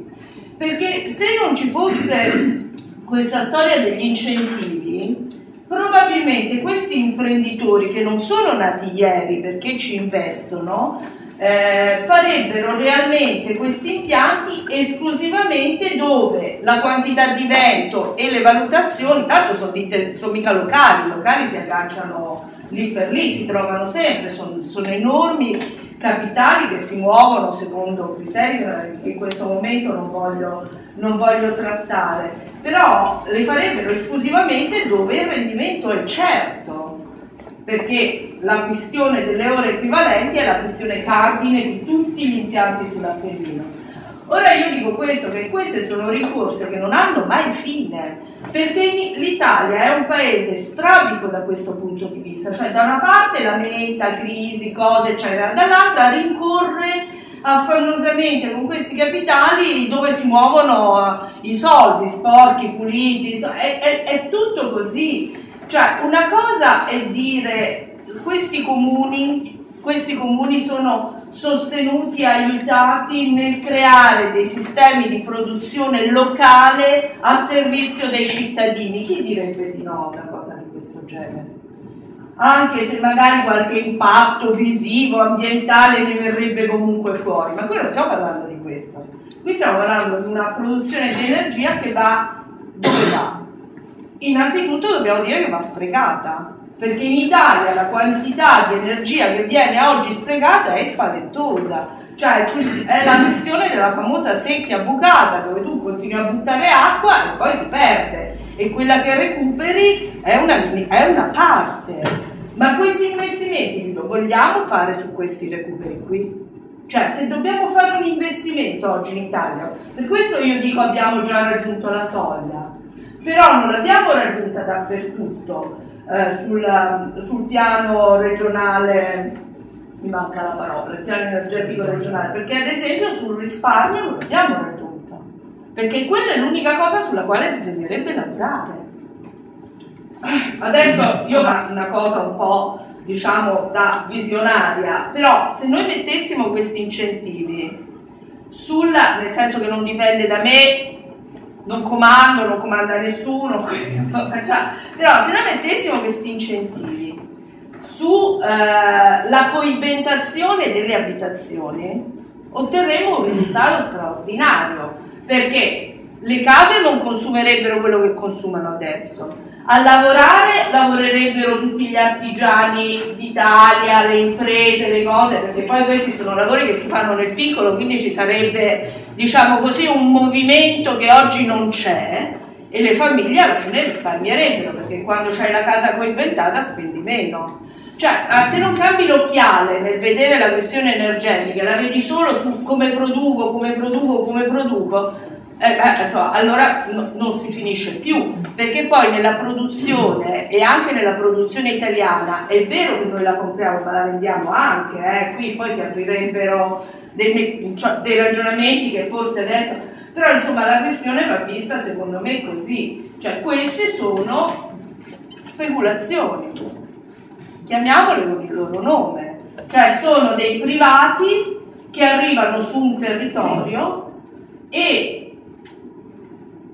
si appropriano, fra virgolette, di quello che adesso mi viene questa parola anche se non mi piace più usarla, di quello che comunque è un bene comune, perché comunque c'è il crin- ci sono i crinali, ci sono le cose, tutte le cose che avete detto, che sono quelle che stanno succedendo dappertutto, per cui non è un'invenzione, basta vedere quindi le strade. E incassano quantità enormi di denaro forse, comunque le incassano 147 milioni. sì, sì, poi voglio dire, lì magari sono meno perché il vento non li rende, però quello che casa è sufficiente, stanno a posto, eh. Così. E al territorio cosa rimane? Non pagano l'energia? Assolutamente no, al territorio non rimane Non pagano lì? niente. Assolutamente. Non rimane niente, sono, sono- sono cose così. E quindi per questo secondo me poi si stanno muovendo tante cose. Ehm, questa quantità di denaro rende anche aggressive queste ditte. Per cui quello che è successo a Bardi, che lavori lì sul confine, e che succede a Pontremoli, cioè a Pontremoli viene fuori un impianto di 16 pale di 150 metri che in alcuni punti è a 12 metri dal confine con la provincia, con la regione anzi. Regione che su- in quella zona, su quel crinale, con, non posso dire SIC perché c'è Conti, però insomma, col SIC, con la ZPS, col parco, con tutte queste cose, non sarebbe autorizzabile, sopra i 1200 metri non sarebbe autorizzabile, la regione toscana la mette a 12 metri dal crinale. Cioè la pala in realtà svalica, capito? Cioè, perché la pala è... Quindi insomma, queste cose veramente sono, sono a mio parere assolutamente inaccettabili e, e meno male che insomma, i cittadini si stanno muovendo in maniera anche così organizzata. Se posso dire sarebbe molto bello fare delle reti tra tutti gli impianti della regione, perché appunto a Nicelli c'è un comitato, questi qua, quelli del bolognese, perché adesso diventa un delirio. Adesso diventa un delirio. Ad esempio, anche Lega Ambiente, che eh, si è sempre dichiarata tendenzialmente favorevole all'eolico, sui piatti così impattanti, abbiamo visto che alcuni circoli si sono già mossi. Però, sai, tendenzialmente favorevole era una cosa che secondo me poteva fare parte di un ragionamento in un'Italia meravigliosa in cui tutti, ognuno fa il suo. Però quando arrivano gli speculatori, secondo me anche il tendenzi- io ero tendenzialmente favorevole, ora sono decisamente contraria a prescindere, perché non ce n'è uno di questi mega impianti qui che faccia il suo dovere, e cioè a sostegno della- del territorio.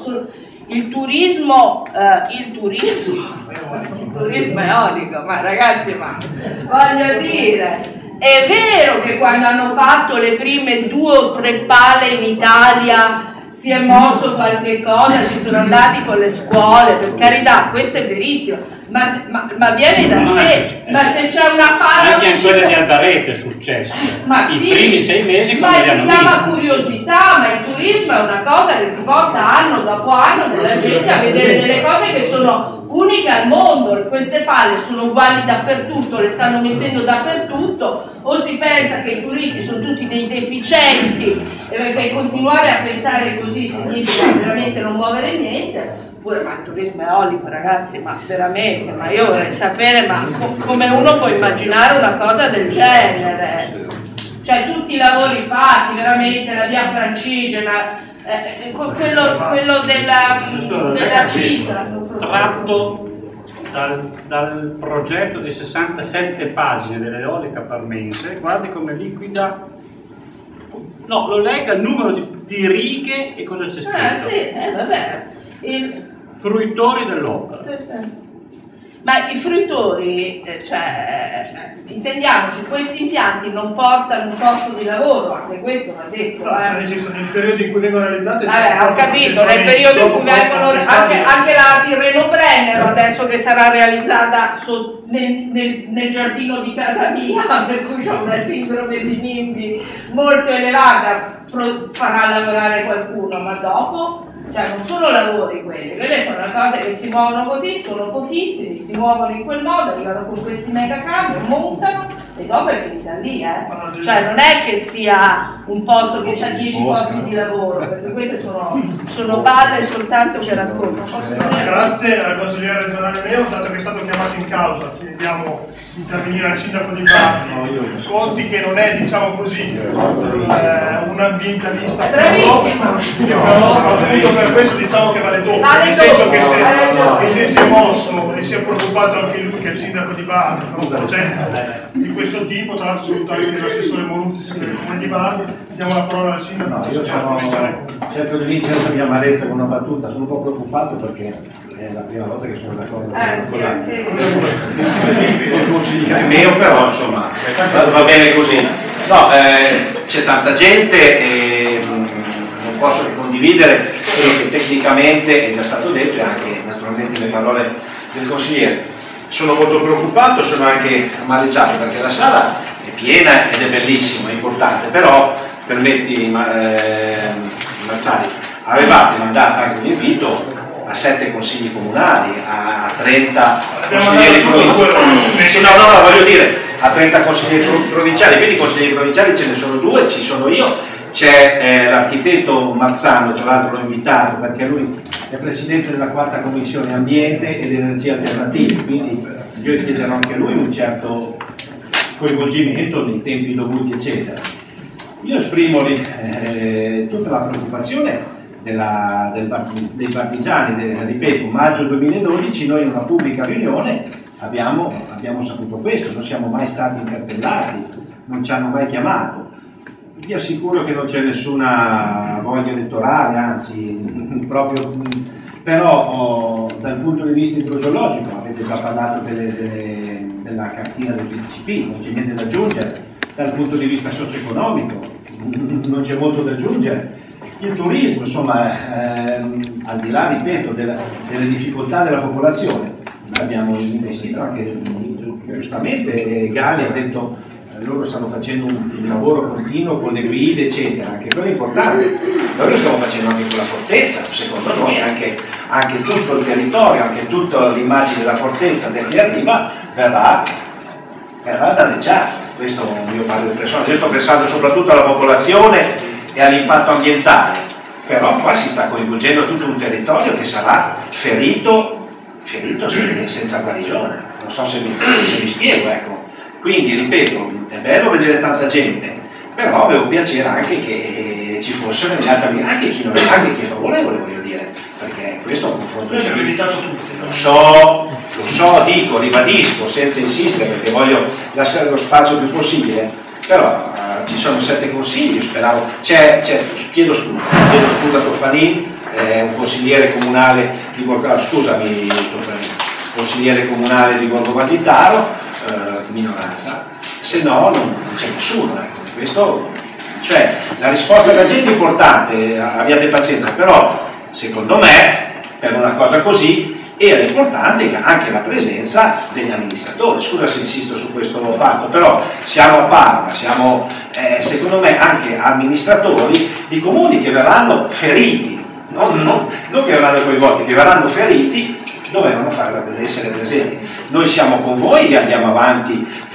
parteciperemo, scusate, naturalmente alla conferenza dei servizi, abbiamo qui un- il nostro assessore, il dottor Moruzzi, che molto molto preparato e cercheremo di portare le nostre esigenze, ecco, vedremo quello che succede, ma la mia preoccupazione forte resta, ecco, questo sì, scusate sono un po' pessimista, spero, spero di sbagliarmi, ma di fronte a queste cose, di fronte al modo, di fronte al modo di, con cui stanno portando avanti certe cose, insomma, io resto preoccupato, scusate la mia preoccupazione. Raccolgo la preoccupazione del sito Monti e Borsa. amministratori che quando c'è da eleggere corrono velocemente. Ma io vi dico, la telefonata avuta col presidente della provincia è stata di questo tipo. Noi abbiamo chiesto prima di girare l'invito a tutti quanti, abbiamo chiesto al presidente della provincia se poteva farlo in provincia, come nel senso che eh, univa tante cose, una sede anche diciamo, istituzionale. Lui ci ha detto io sono in ferie quella settimana, è il rituale che mi venga chiesta una riunione eh, presso la nostra sede, quindi le, riunioni che convochiamo noi, e ci ha chiesto lunedì della prossima settimana, al suo rientro dalle ferie, di fare un incontro privato con il rappresentante del comitato. Ciò nonostante abbiamo diramato a tutti, veramente a tutti l'abbiamo rimandato due volte, sia prima di Pasqua che subito dopo Pasqua. Eh, martedì l'abbiamo rinoltrata a tutti per essere sicuri che con la Pasqua qualcuno si fosse scontato di questa cosa. L'abbiamo mandata tra l'altro a tranche di 15-20 mail per volta in modo da non essere intercettati dal filtro anti-spam, in modo che non potessero dire che la mail non era arrivata perché era finita nelle spam. Eh, in realtà vi dico, eh, va bene anche così, nel senso che gli aspetti tecnici ci sono, chi ci vuole sentire ci sente, continueremo a muoverci anche nei prossimi giorni a più livelli. Domenica ad esempio se il tempo ci assiste facciamo una passeggiata a quattro passi nel Veneto, l'abbiamo chiamata, per visitare appunto tutti i luoghi interessati dal- dall'intervento, appunto per portare curiosi, interessati anche i politici gli amministratori locali a vedere, perché siamo accorti che anche gli amministratori locali tante volte non per malafede, probabilmente hanno anche tante altre cose da fare, ma non conoscono nemmeno loro il progetto nel dettaglio. La serata che abbiamo fatto l'altra sera, martedì sera su Videotaro, che direi che è andata molto bene per quanto ci riguarda, abbiamo ricevuto poi dei complimenti anche dagli amministratori di maggioranza del comune di Borgotaro. Questo per dire che probabilmente eh, anche loro qualche dubbio durante l'incontro, il dibattito televisivo che è disponibile anche su YouTube, gli è venuto.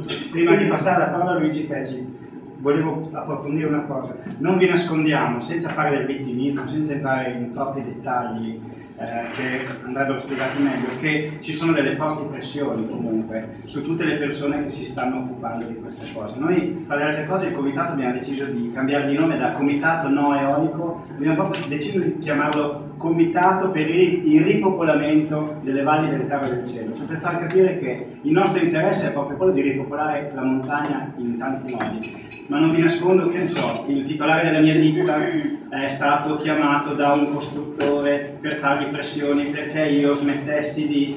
ehm, ci sono continui accessi alla visura camerale della ditta per cui lavoro, ehm, strani movimenti attorno alle case delle eh, persone del comitato, speriamo bene. stampa. Eh, pressioni sulla stampa, sono dieci giorni che non esce più un nostro comunicato sulla Gazzetta di Parma, ne mandiamo uno ogni due giorni, telefonate a giornalisti del TG3 perché non vengono a fare i, i servizi. Allora, gli interessi in campo sono molto grossi, gli investimenti immobiliari molto forti. Eh, l'altra sera uno dei costruttori socio eh, di Eolica Parmense con, con noi è stato abbastanza crudo ma ve lo dico velocemente per farvi capire rispetto a, log- a quale logica di vecchia politica, per quanto purtroppo sia molto attuale, ma io la chiamo vecchia politica, ci sia attorno a questo tipo di cose. Il costruttore nella sua ingenuità mi diceva, allora, mi hanno detto che di lavori pubblici grossi io non avrei più politici fatti. locali I politici locali mi hanno detto che i grossi lavori di pubblici non avrei più fatti perché strade, tunnel e grosse opere non se ne fanno più. Mi hanno detto di riconvertire la mia ditta per la costruzione di questi impianti di energia alternativa, loro mi hanno fatto fare questo cambiamento e adesso questo lavoro me lo devono dare, altrimenti io ci vado fino al consiglio dei milionari. Ok? Ci hanno detto siamo noi cattolici dello stesso modo con le stesse parole. Ok. Ovviamente registriamo poi una distribuzione di prebende del tipo promesse, tu ti occuperai della manutenzione, tu farai un piccolo lavoro elettrico per convincere gli affittuari a firmare le varie cose. Dico un'ultima cosa molto importante, poi passo la parola a Luigi, scusami Luigi se No, no, anzi, risposto. Eh, è un dato molto importante che va capito. Purtroppo l'altra sera in televisione non siamo riusciti a farlo capire bene e le- molte delle nostre domande sono state ovviamente. Eh, nei- la, la ditta proponente ha chiesto alla provincia che venissero oscurati i documenti sui eh, dati dell'anenometro e sulla relazione del loro ingegnere sull'acustica. Perché è lì che adesso si sta Esatto. concentrando. Ci hanno aiutato perché su 139 documenti, di cui alcuni di centinaia di pagine, all'inizio mi ha detto Dio non ce la faremo mai a vederli tutti, e a un certo punto quando ho visto la richiesta di non farceli ho detto grazie, ci indicano quelli che dobbiamo guardare con maggiore attenzione. Allora, il loro ingegnere sulla relazione acustica dice un sacco di non si sa, non è chiaro, non si può sapere, i dati non sono certi, perché stiamo parlando di pale che emettono dati della vita 107 decibel l'una in funzione. Sapete cosa sono 107 decibel? Parliamo di 140 decibel per un aeroplano che decolla, fate un po' voi. Ma c'è poi un grosso problema che non approfondiamo perché è molto tecnico legato agli infrasuoni e a una cosa che si chiama sindrome da eolico che negli Stati Uniti, in Inghilterra, nei Paesi Bassi, in Francia è accertata e viene allegata nelle documentazioni, tant'è che questi impianti sopra i 120 metri non si può più costruire a 4 km da una sola abitazione. Mentre qui le distanze sono completamente diverse e la sindrome da eolico dei Buonasera, infrasuoni grazie della sì, pensione. non è assolutamente presa in considerazione. Noi veniamo presi in giro comunque quando portiamo studi di medici dell'ISVE, che sono l'Associazione Medici per l'Ambiente, medici che fanno relazioni sulla sindrome eh, da eolico e sui danni per la salute su bambini e anziani. Noi veniamo proprio eh, sbeffeggiati e presi in giro, perché tutto ciò che non si vede, voi sapete che tanto non esiste, no? gli infrasuoni sono assolutamente non dimostrabili. Quindi ci tenevo ecco, a, a dirvi tutto quello che si sta muovendo attorno a questo tipo di cose. Scusami Luigi, prego. Allora, io innanzitutto Il, faccio- il dottor Luigi No. vi faccio i complimenti per il lavoro che avete fatto e che state facendo. Avevo due domande da farvi, alla prima mi hai già risposto che era sull'impatto acustico, mi hai già risposto, alla seconda mi hai già in parte risposto. Cioè io volevo chiedere, l'amministrazione di Borgotaro, che mi sembra che sia quella che si è assunto una responsabilità enorme e storica direi, perché eh, io per esempio non vorrei associare il mio nome, se fossi amministratore, a una roba del genere che rimane come esempio nei decenni. Ecco, quindi si sono assunti questa responsabilità di fronte a tutti. La loro decisione è definitiva oppure ci sono le possibilità per muoversi? Sono tutti, eh, su tutti d'accordo. Allora, Anche perché il sindaco di Borgotaro mi sembra che abbia anche responsabilità provinciali, quindi è una figura. Il sindaco di Borgotaro è segretario provinciale del Partito Esatto. Democratico, quindi del partito più importante della provincia, quindi diciamo che è una figura importante sul territorio. sì. da quello che non hanno dato la sede della provincia per fare queste E poi, conoscendo anche Ferrari, sapendo che Ferrari, no? Comunque il La discorso... discarica di Chiedoli, no? No, no, ma- Eh, Ce ne sono, ti, ti sto facendo pure, ce ne sono molti. Il discorso è questo, che eh, l'amministratore comunale di Borgotaro, dal punto di vista ufficiale, eh, diciamo, non ha detto noi siamo favorevolissimi a questo progetto, lo ha detto nei fatti più che altro, nel senso che chi passava il eh, comune a Borgotaro eh, si trovava diciamo, di fronte alla presentazione serata di a tutti, questo- Grazie, scusate. signor Buona serata.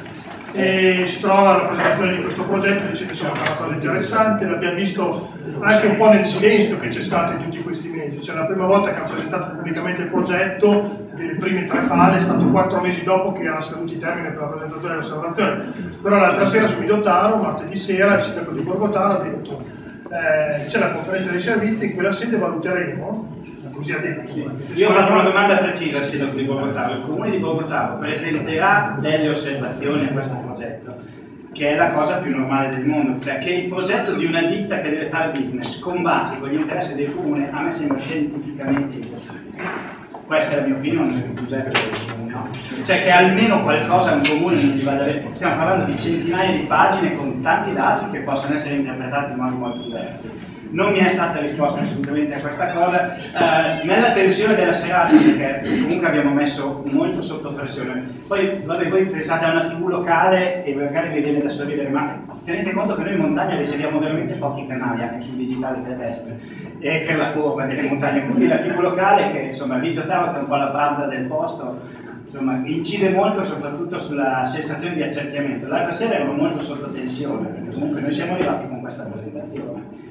Il tecnico e il loro tecnico, su questi aspetti tecnici che sono fondamentali, perché il discorso della produttività della palla, del modello di palla che hanno scelto, sono dati che gli richiede la normativa regionale di verificare, non è una cosa che ci è venuta in mente a noi di tirare fuori.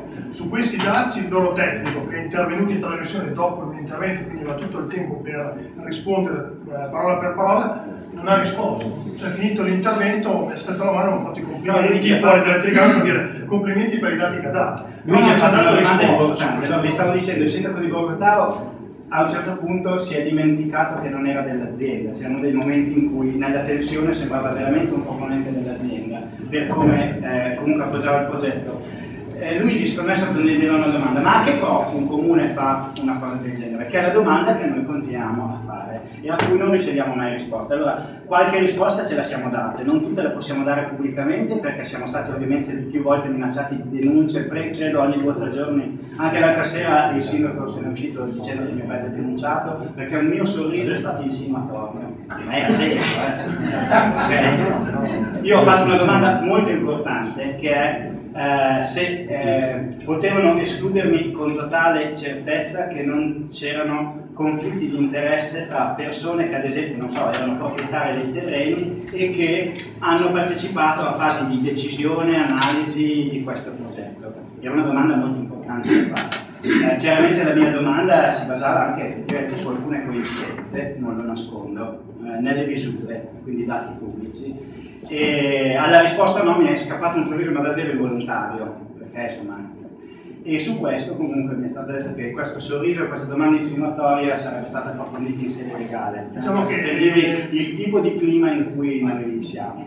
Ma comunque eh, il sindaco ha detto che tra dieci anni questo parco verrebbe tirato giù. No, No, ha detto che un intervento dieci- reversibile. Ha detto che era un intervento- reversibile. Sì, parco. ma chi, è che lo smonta? Io mi chiedo un parco eolico, magari un micro eolico può essere reversibile. Questo diciamo che Chi paga per andare a tirare giù le Ci vogliono 54 milioni per montarlo, eh? 50 milioni. Non so, per smontarlo facciamo Scusate, se mi aveva Non chiesto la la parola, strada non so. poi voglio dire la Sì. dopo che l'hanno allargata, non lo so. Allora, prego. Io volevo approfittare della presenza dell'assessore Neo per chiedere.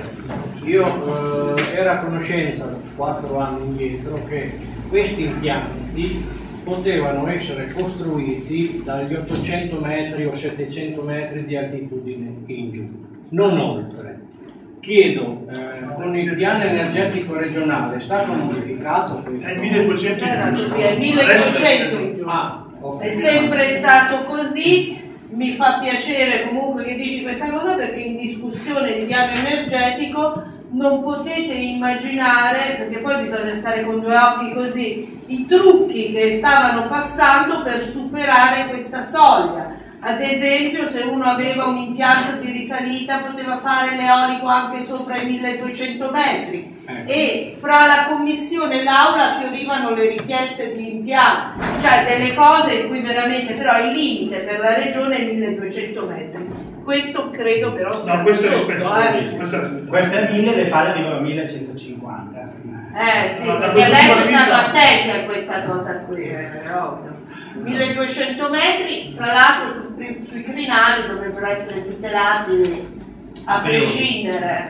Eh, C'è una domanda? Sì, eh, io chiedevo, visto l'amministrazione del comune di Bogotà che sta appoggiando politicamente e attivamente questo progetto, eh, il comune ha delle compensazioni dal punto di vista economico? Anche questo è stato molto interessante, l'altra sera al dibattito ufficialmente oppure a livello ambientale oppure a livello generale c'è È qualcosa? una domanda molto importante la regola, ti spiego perché. Allora, intanto le compensazioni ambientali, ed è bene ricordare che sono opere di mitigazione, cioè dando per scontato che c'è un danno, questo dice la legge, ci vogliono delle opere che mitighino il danno, cioè lo riducano. Quindi è molto importante quello che viene fatto. Allora, c'è una soglia che era del 3, che mi sembra sia stata abbassata al 2 secondo i nostri documenti, ma dobbiamo approfondire, che Ora, con, ora il Consiglio di Stato ha deciso che debba decidere la conferenza dei servizi regionali come, essere, come, come distribuirla. Perché cosa avveniva in tutta Italia? Che i comuni eh, andavano a trattativa con le ditte, tipo il mercato delle vacche, cioè del tipo chi mi dà di più gli do la possibilità di fare un impianto. Più o meno stava succedendo questo. Ci sono dei sindaci che sono finiti agli arresti per questa attività. Facevano addirittura le gare. Chi mi offre di più per le compensazioni ambientali?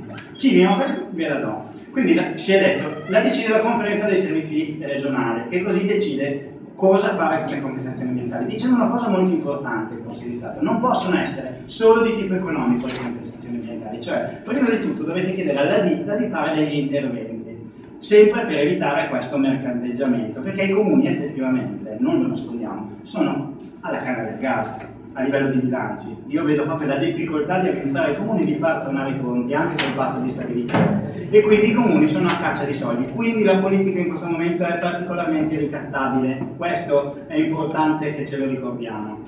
L'altra sera il sindaco di Bordotaro però ci ha detto una cosa eh, per noi molto importante, ci fa piacere che sia registrato su cassetta, cassetta che però i carabinieri di Bogotà sono venuti a ritirare e che hanno chiesto, speriamo bene, E, perché a un certo punto ha detto, ma noi, avendo visto che, perché attenzione, il comune di Bogotà, Bogotà aveva puntato sull'IMU, e c'è tutta una tabella che dice che avrebbero preso quasi 400.000 euro all'anno di INE, ma con il decreto del- l'ultimo decreto del governo Monti, eh, tutte le aree industriali pass- eh, vengono incamerate direttamente dallo Stato e non ritornano neanche indietro. Quindi quei 400.000 euro all'anno su cui puntava il comune di Bogotà sono andati a sparire.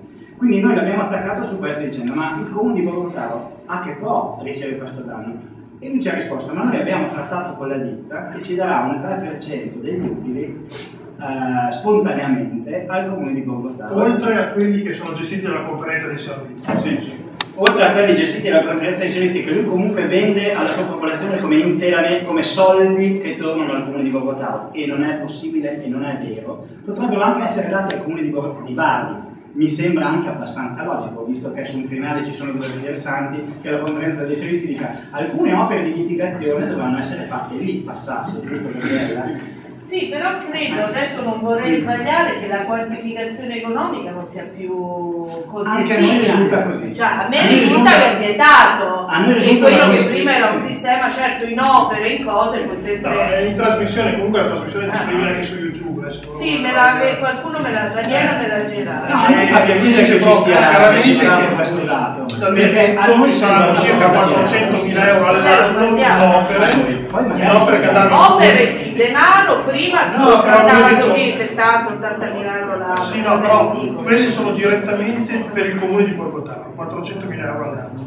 In opere che lui diceva che si potevano utilizzare in vario modo per l'efficientamento energetico degli edifici pubblici, quello credo che sia possibile. Per il rifacimento dei muretti stradali della Valgona, quello bisogna già più vedere perché non è detto che sia una compensazione ambientale il fatto di rifare una strada, una valle. eh, Per la Tirreno Brennero le compensazioni ambientali sono altre strade. Sono sempre state altre strade.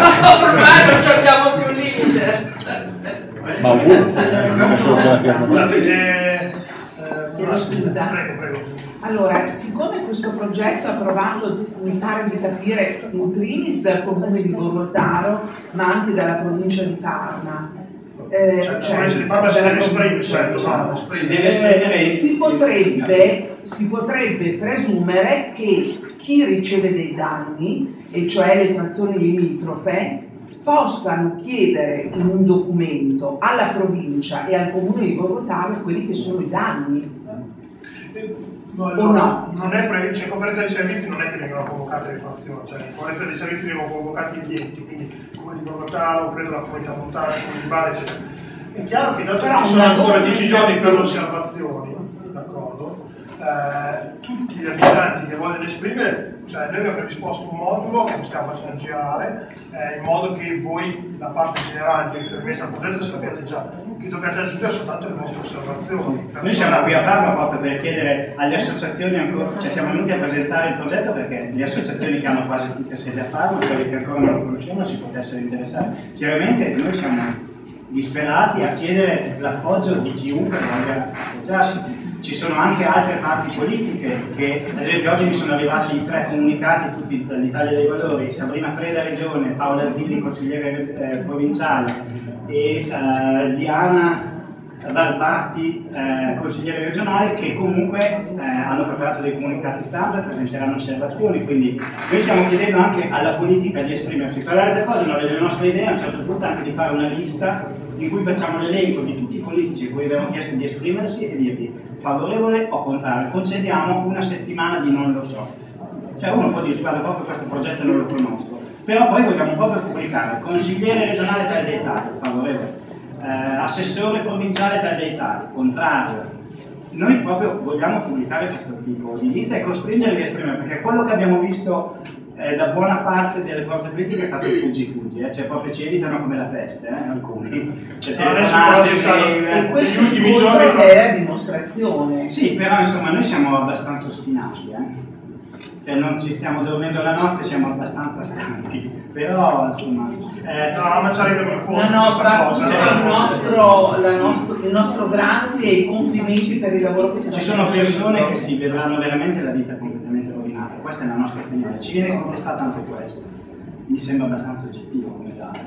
No, no, certo, se riguardate queste frazioni di cosa dovrebbero avere, noi cioè, per queste cose ci andiamo silenzio, nel senso che i nostri dati noi siamo preparati, non abbiamo gettato dei dati al vento per fare degli allarmismi, noi ci siamo preparati, ci siamo anche fatti aiutare da degli altri tecnici, oltre che a noi, Eh, ci sono delle associazioni che firmeranno le osservazioni anche loro, ci sono altri politici che piano piano, magari non ufficialmente, ma ci sono venuti a contattare negli ultimi giorni perché hanno capito da diverse voci, dal dibattito televisivo, da internet, eccetera, che c'è qualcosa di strano in questo progetto. Quindi nei prossimi giorni ci saranno degli interventi su questa cosa. È, è un po' un peccato perché era meglio che si informassero un po' prima, però non è mai troppo tardi, nel senso che eh, il progetto è talmente impattante che vi- venga anche un ravvedimento, del- viene, visto anche un ravvedimento dell'ultimo momento. C'era un intervento da un sacco di Allora, scusate, scusa, Raffaele Veneziani del... È che non ti vedono da davanti e quindi... Raffaele Veneziani che è del CAI vengo da una donna da, dal sogno che praticamente la stessa problematica è da un paio di tempo che sono anche ferme i tradizi poi posizionati, non so per quale problematiche. E chiedevo, ma eh, i proprietari dei terreni dove verrebbero bloccati queste quali? Saranno gente locale, perché hanno autorizzato, hanno firmato, dico? Eh, allora, sì, però- ci sono degli strani movimenti sui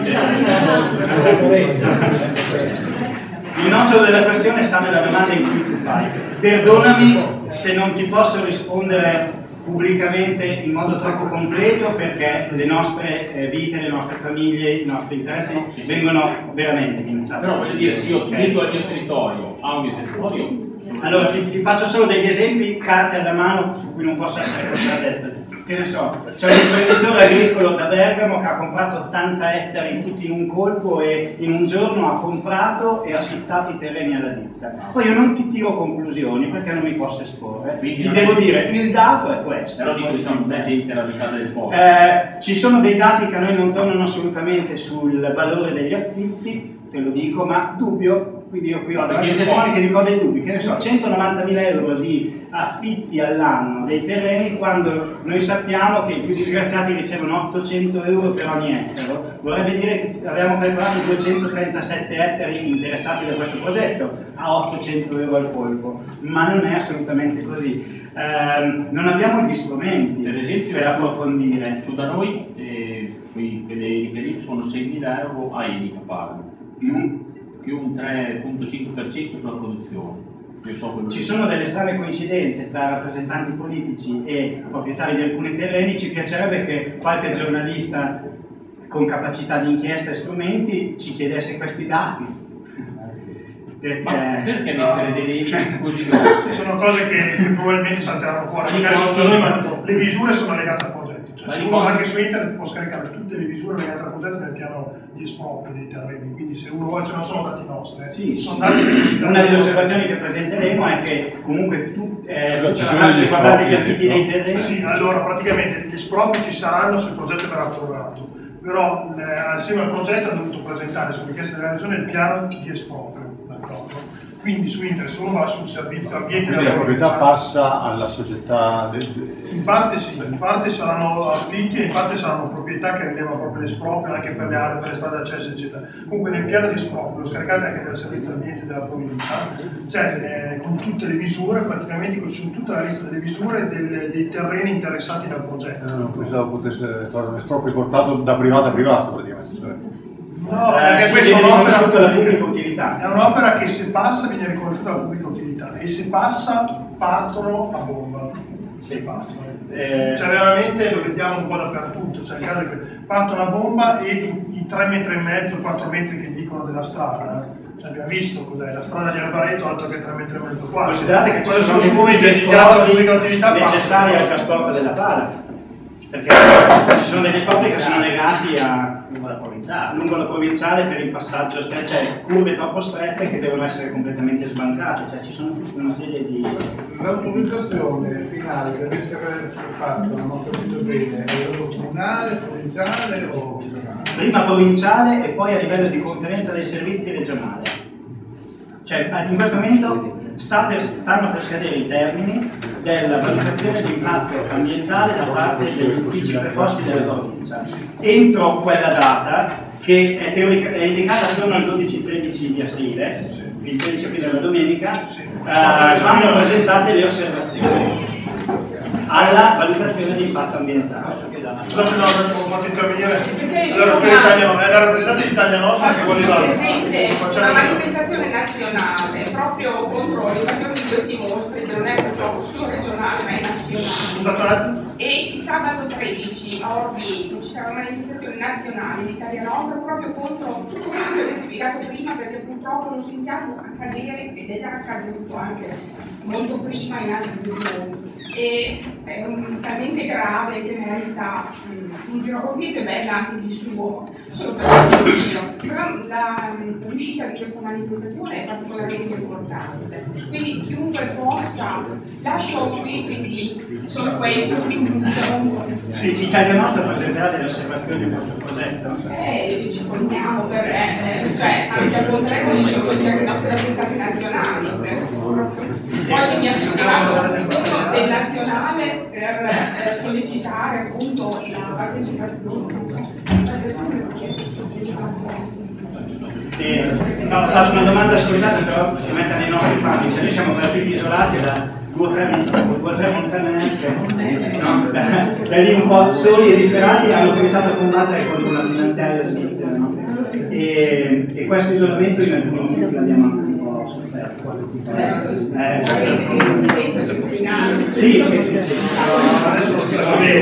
sono talmente tante osservazioni che siamo ottimisti. Eh, però nel senso il lavoro da fare tanto e serve il contributo un po' di tutti. Cioè se volete mandare osservazioni anche personali, anche di tipo diciamo così un po' terra terra, cioè io ho una casa in corrispondenza della tal frazione legate alla foto della casa per dire io qua mi verrà rovinata la mia anche quello è un piccolo segnale. Le nostre osservazioni tecniche saranno molto corpose dicevo già, abbiamo un pacchi di roba da, da sottoporre alla valutazione di impatto ambientale Anche i tecnici non da soli. Cioè, i tecnici sono persone che credo vogliano comunque fare il loro lavoro, ma chiaramente se sono lasciati da soli sono delle persone recattabili dalla politica. Pensate in questo momento ai dipendenti provinciali che livello di insicurezza lavorativa stanno sentendo. Se noi li lasciamo da soli rispetto alla politica, chiaramente possono subire moltissimo le pressioni. Se invece arrivano molte osservazioni, il tecnico stesso secondo me è più sereno nel fare una valutazione oggettiva, cioè sente comunque che il suo lavoro lo può svolgere più serenamente, questo è quello che vi voglio dire, è molto importante. È verissimo, ed è per quello che facciamo questi incontri, perché dal punto di vista tecnico noi potremmo dormire anche soli tranquilli. E soltanto con quello che abbiamo fatto vedere adesso e tante altre cose che non vi abbiamo detto, perché ci sono tanti altri aspetti che forse sono anche secondari, eh, non era il caso di, comunicarli tutti. E soltanto con questi aspetti noi dovremmo anche, potremmo anche evitare di fare il dibattito TV piuttosto che questo incontro, piuttosto che altri incontri che faremo la prossima settimana. Però vogliamo stare tranquilli veramente, cioè perché sappiamo che purtroppo le pressioni dei politici sui tecnici che valuteranno possono essere molto molto forti. Per questo abbiamo cercato di farlo sapere dappertutto questa cosa e nelle prossime settimane alzeremo ancora di più i toni, ma non in modo sgraziato o in modo scomposto, però alzeremo i toni per far tenere l'attenzione molto concentrata su questo progetto e sulle progettazioni. Eh, voleva dire una parola di Fanin che è la mia... Dico solo che siamo stati chiamati terroristi, no? Que- ci, ci rasserena un po' questa cosa. no? Mio nonno che ha fatto il partigiano lo chiamavano brigante, no? eppure credo che abbia dimostrato di essersi messo dalla parte Allora, eh, Tom Fanin che è consigliere di minoranza del, del comune di Borgotano. Eh, confermo sostanzialmente tutto quello che è stato osservato dai relatori relativamente all'incontro della cosiddetta diretta eh, di, dell'altra sera.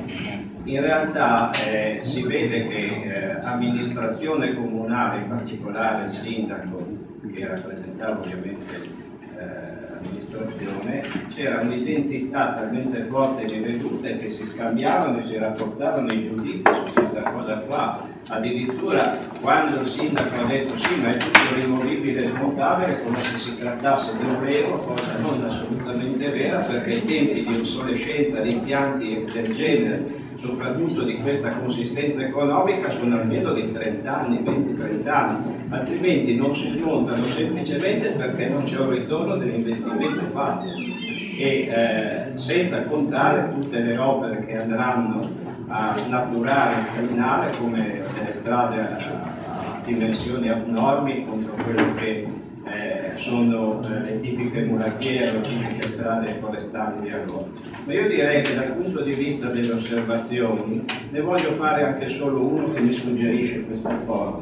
Se noi togliamo le eliche, eh, enormi eccetera, che sovrastano il paesaggio, e vediamo una cosa che è quella che eh, mi ha sempre attirato, io sono nativo della Valbona e la cosa che mi è rimasta nei miei 40 anni di emigrazione sono queste case con tetto di pietra, che sono eh, la tipicità, sono il nostro casale toscano. questi. Ecco, questo è il valore dell'ambiente e mi richiamo alla signora di Italia Nostra, credo che concordi con questa cosa. La tipicità delle nostre costruzioni, tra l'altro, secondo piani regolatori fatti malissimo, e sono, credo di essere confortato da un architetto, hanno trasformato spesso con concessioni regolari i tetti che hanno uno spazio di 30 cm delle piane di arenaria, ha fatto degli spazi di 1,20 m con travi di abete, trasformando delle case di media altezza che so, possono essere un piano e mezzo, in genere 6 metri di altezza, le ha trasformate in capanne abbassate, perché se noi facciamo, modifichiamo l'angolo del tetto, abbiamo uno spazio di un metro e mezzo, viene una capanna quanti. Ecco, la nostra tipicità, e questo paesaggio a mio giudizio è bellissimo, con, quella, con quegli edifici che si, si inseriscono perfettamente nell'ambiente del territorio, sono questi il valore che dobbiamo difendere eh, come, come, in generale come persone sensibili all'arte e al paesaggio. Il paesaggio è tutelato, come ben sapete, anche dalla Costituzione. Un'altra cosa velocissima, perché molte cose sono state dette, è che voglio notare. Io ho fatto una lista civica, ritornando ad abitare a Borgotano dopo 40 anni, eh, denunciando il malaffare, che è una cosa impressionante da non fare. E ci sono documenti pubblici che io ho prodotto e che un giorno avranno, credo, un valore. Ma la cosa importante dal punto di vista della politica in generale è che progetti di questo genere non possono passare sopra la testa dei cittadini. Qui tutto è rimasto in silenzio, prima c'era la centrale a Turfogasa che lì le inesattezze di Rossi sono a dir poco, infatti ho detto, gli ho consigliato di leggere Collodi, purtroppo in quella trasmissione. In realtà questo progetto era giacente, ma nessuno ne ha parlato sulla, sul piano, sulla cosiddetta programma elettorale c'erano dichiarazioni genericissime riguardo alle energie alternative, ma non c'era nessuna indicazione che verranno fatte 9, 3, 5, 10 pale sul Monte Santa Donna arte 150 metri e adesso l'amministrazione in perfetta sincronia e simbiosi con la vita eh, si fa portatrice di questa cosa. Io credo che tutto quello che fa il Comitato, tra l'altro in maniera eh, professionale in maniera precisa, in maniera eh, molto argomentata, però debba essere supportato da una sensibilizzazione dei cittadini affinché eh, per contrastare operazioni di questo tipo si debba passare per forza attraverso un referendum popolare indetto tra le popolazioni delle, eh, particolarmente interessate e eh, mettendo in evidenza che un confine comunale, come è stato notato, di 12 metri o che impatta negativamente su un ambiente architettonico come quello del castello di Compiano non può essere il confine fisico a determinare le cose, ma deve essere la zona che conta, che deve avere eh, potere contrattuale, le popolazioni che abitano e che vivono e che hanno scelto di eh, tentare una vita diversa ritornando a quei posti. Chiudo subito. E non dimentichiamolo che da quando è mondo è mondo c'è un abbandono e un ritorno dalle campagne. Se oggi c'è un ritorno in modo differente, può essere un segnale per le giovani generazioni che non va assolutamente trascurato facendo un investimento i cui risultati economici e dal punto di vista tra l'altro dell'utilità in, in quanto risparmio del genere è tutto da dimostrare, è tutto da dimostrare. Nel comune di Borgo Val di Claro ci sono ancora le lampade a incandescenza, tanto per dire quanto ci tiene eh, al risparmio energetico comune. Grazie. Allora, direi che siamo proprio in chiusura anche perché vedo la gente che scapita, vi ringrazio molto della partecipazione. Vi chiedo se c'è ancora qualcuno che ha qualcosa di fondamentale. Eh, grazie professor Manducchi, grazie di essere venuto. Eh, una cosa velocissima, 30 secondi, un minuto, basta. È chiarissimo.